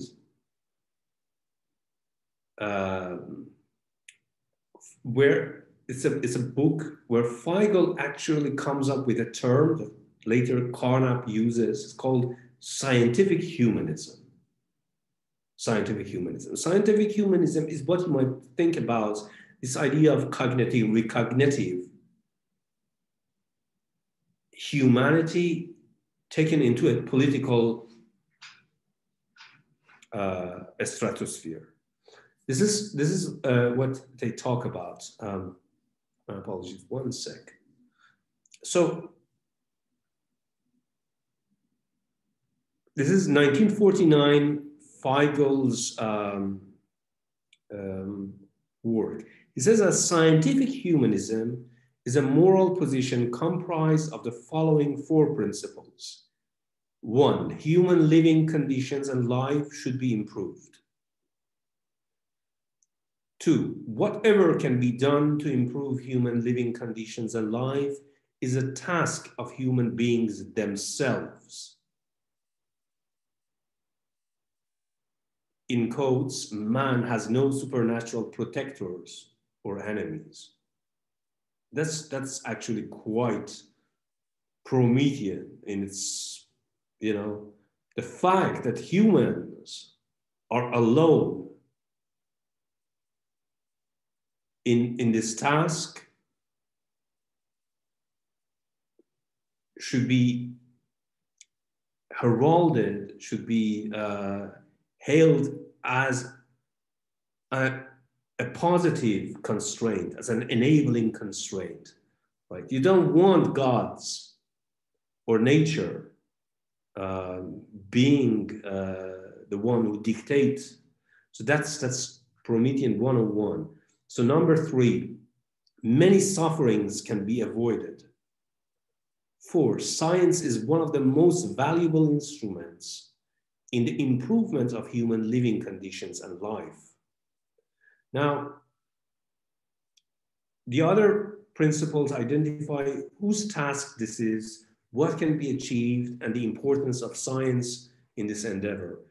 Carnap himself writes, mankind is, a, is able to change the conditions of life in such a way that many of the sufferings of today may be avoided and the external and internal situation of life for the individual, the community, and finally for humanity as a whole will be essentially improved. Scientific humanism considers science one of the most valuable tools in achieving these aims Hence, Carnap continues all deliberate actions presuppose knowledge of the world, that the scientific method is the best of acquiring knowledge, and that therefore science must be regarded as one of the most valuable instruments for the improvement of life and collectivity. Now, this is, see, this is just like early in the 20th century. Um, I'm going to talk about this more as we are moving forward.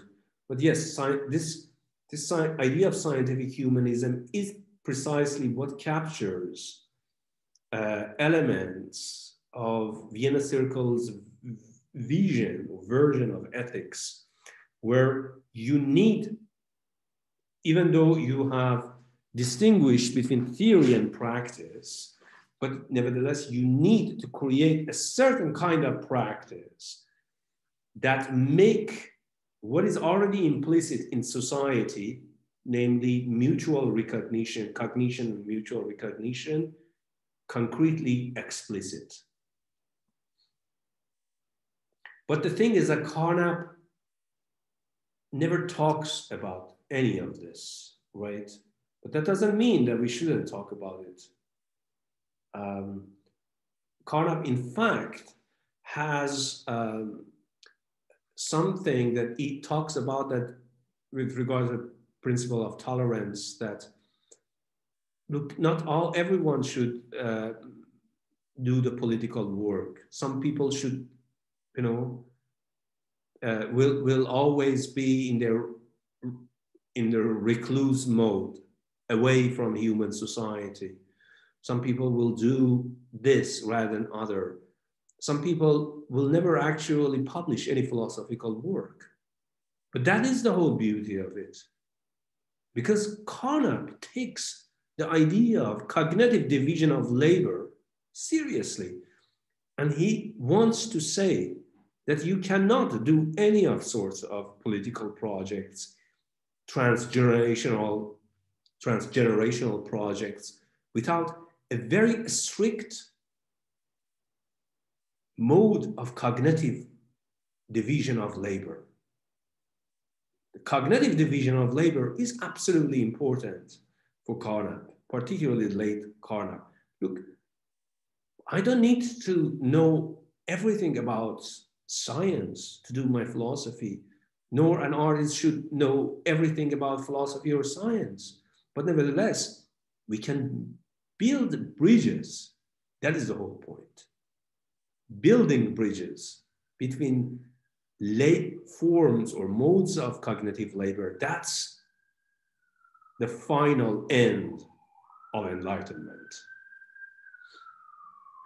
And I think that will be it for today. I think there's a question from Arman here, if that's all right, Reza. Sure, absolutely. If if we've run out of time, I can ask it the next time. That's okay. or on a private chat. or a private chat. That's okay. Um, by the way, I don't know. Should I ask it or should I should we stop? Yeah, absolutely. No, no, no, absolutely.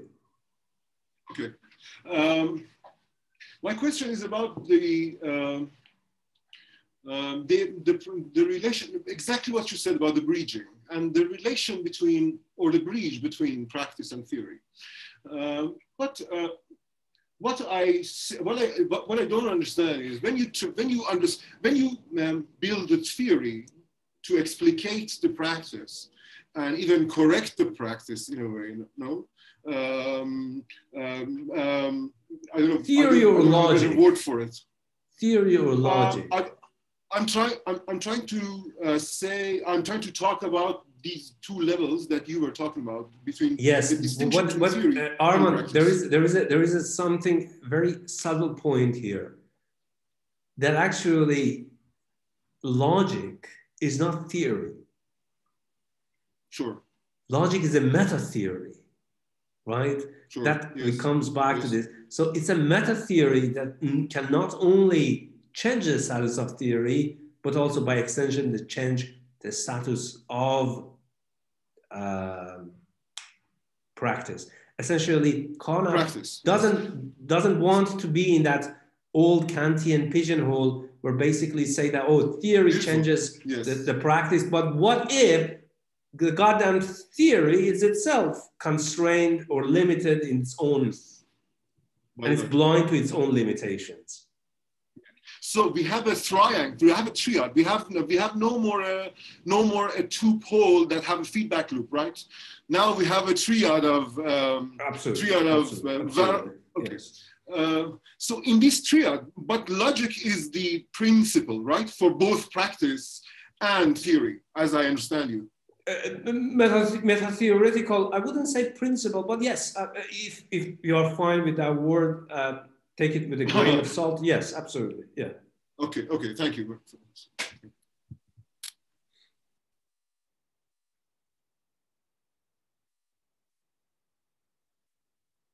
Friends, enemies,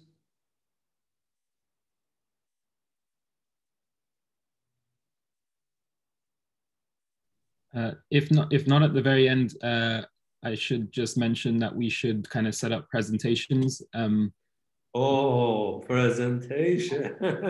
I forgot about that one. Yeah, and I don't think we have too many in this class either. So, uh, oh, which means that everyone is going to be tortured.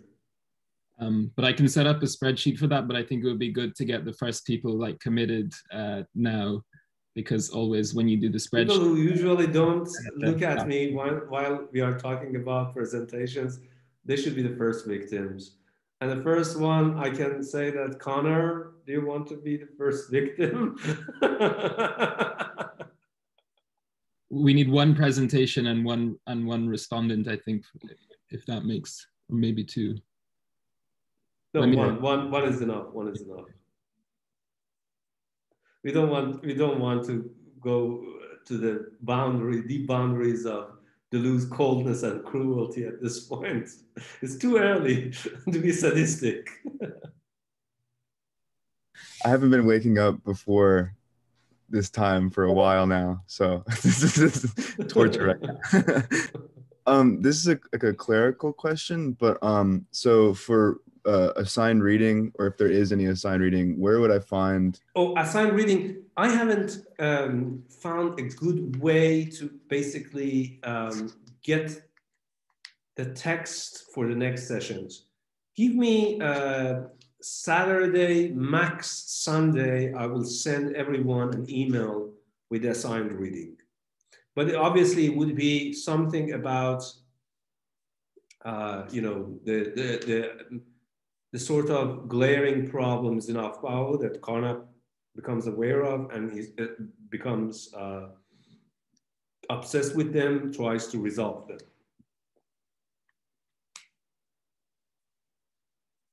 That makes sense. And then for the presentation, I'm not really sure about what the. I watched some of the lectures from uh, last course, but I'm not sure about what the standards are. Like, uh, what would you like? And uh, do you want to give him a little bit of a tip? Um, yeah, sure. I mean, I think I think it's not really uh, very strict, right? Um, but it would be best if you could kind of like summarize whatever the reading material is as part of that, and then if you have other things you want to say about it, I think that format generally tends to Look, work. Connor, if you don't want to do it, don't do it. I could do it. I could do it. It's fine. It's perfect. We're great. Okay, okay. Um, and we also need one person to respond to Connor, if that's all right. Yes. Uh, who wants to respond to Connor? Someone really nasty. Brian, do you want to do that? With a bit of load of Hintikka and Karna, both at the same time. I don't know if I'm nasty enough. yes. Unfortunately not. Enda, do you want to do that yourself? Uh, I don't mind. Yeah, I can go if um, yeah, if you'd like. I'm happy to do it. Uh-oh. Okay, excellent, magnificent. Um, and the the only other admin thing to mention is that we have uh, a Discord channel set up. So if people haven't been put on that, it's basically like a methadone clinic for Twitter users. So you can kind of like we can have like an you know an additional conversation during the week if people have like other questions and stuff. We can use it for that. What is this Discord thing? I I, I haven't got anything. Uh, okay, well I'll I'll send you the um. Not that I'm going to join, but I just yeah, I don't know what it is. It's ju- it's like a server where you can uh, basically have a bunch of conversations and a bunch of channels, uh, so you can kind of um, it- it's kind of like a, a- an informal chat space, I guess. Uh, if that It's makes like with voice. Yeah, well, you can use voice, but it's more like I think most people use just like messaging and stuff on it. Okay, I see, I see, I see. quite helpful for like if people have like questions as well about some of the stuff we talked about today and they want to like pursue further discussion outside of class, we can use it for that. Excellent. I'll, I'll send you the, you can decide whether you want to join or not, Reza, or I'll get them to sign you. Most probably not, but nevertheless. To shit posting on Twitter. I, I, I can't go on Twitter. I'm, I'm busy these days. I only go to self promote once in a while.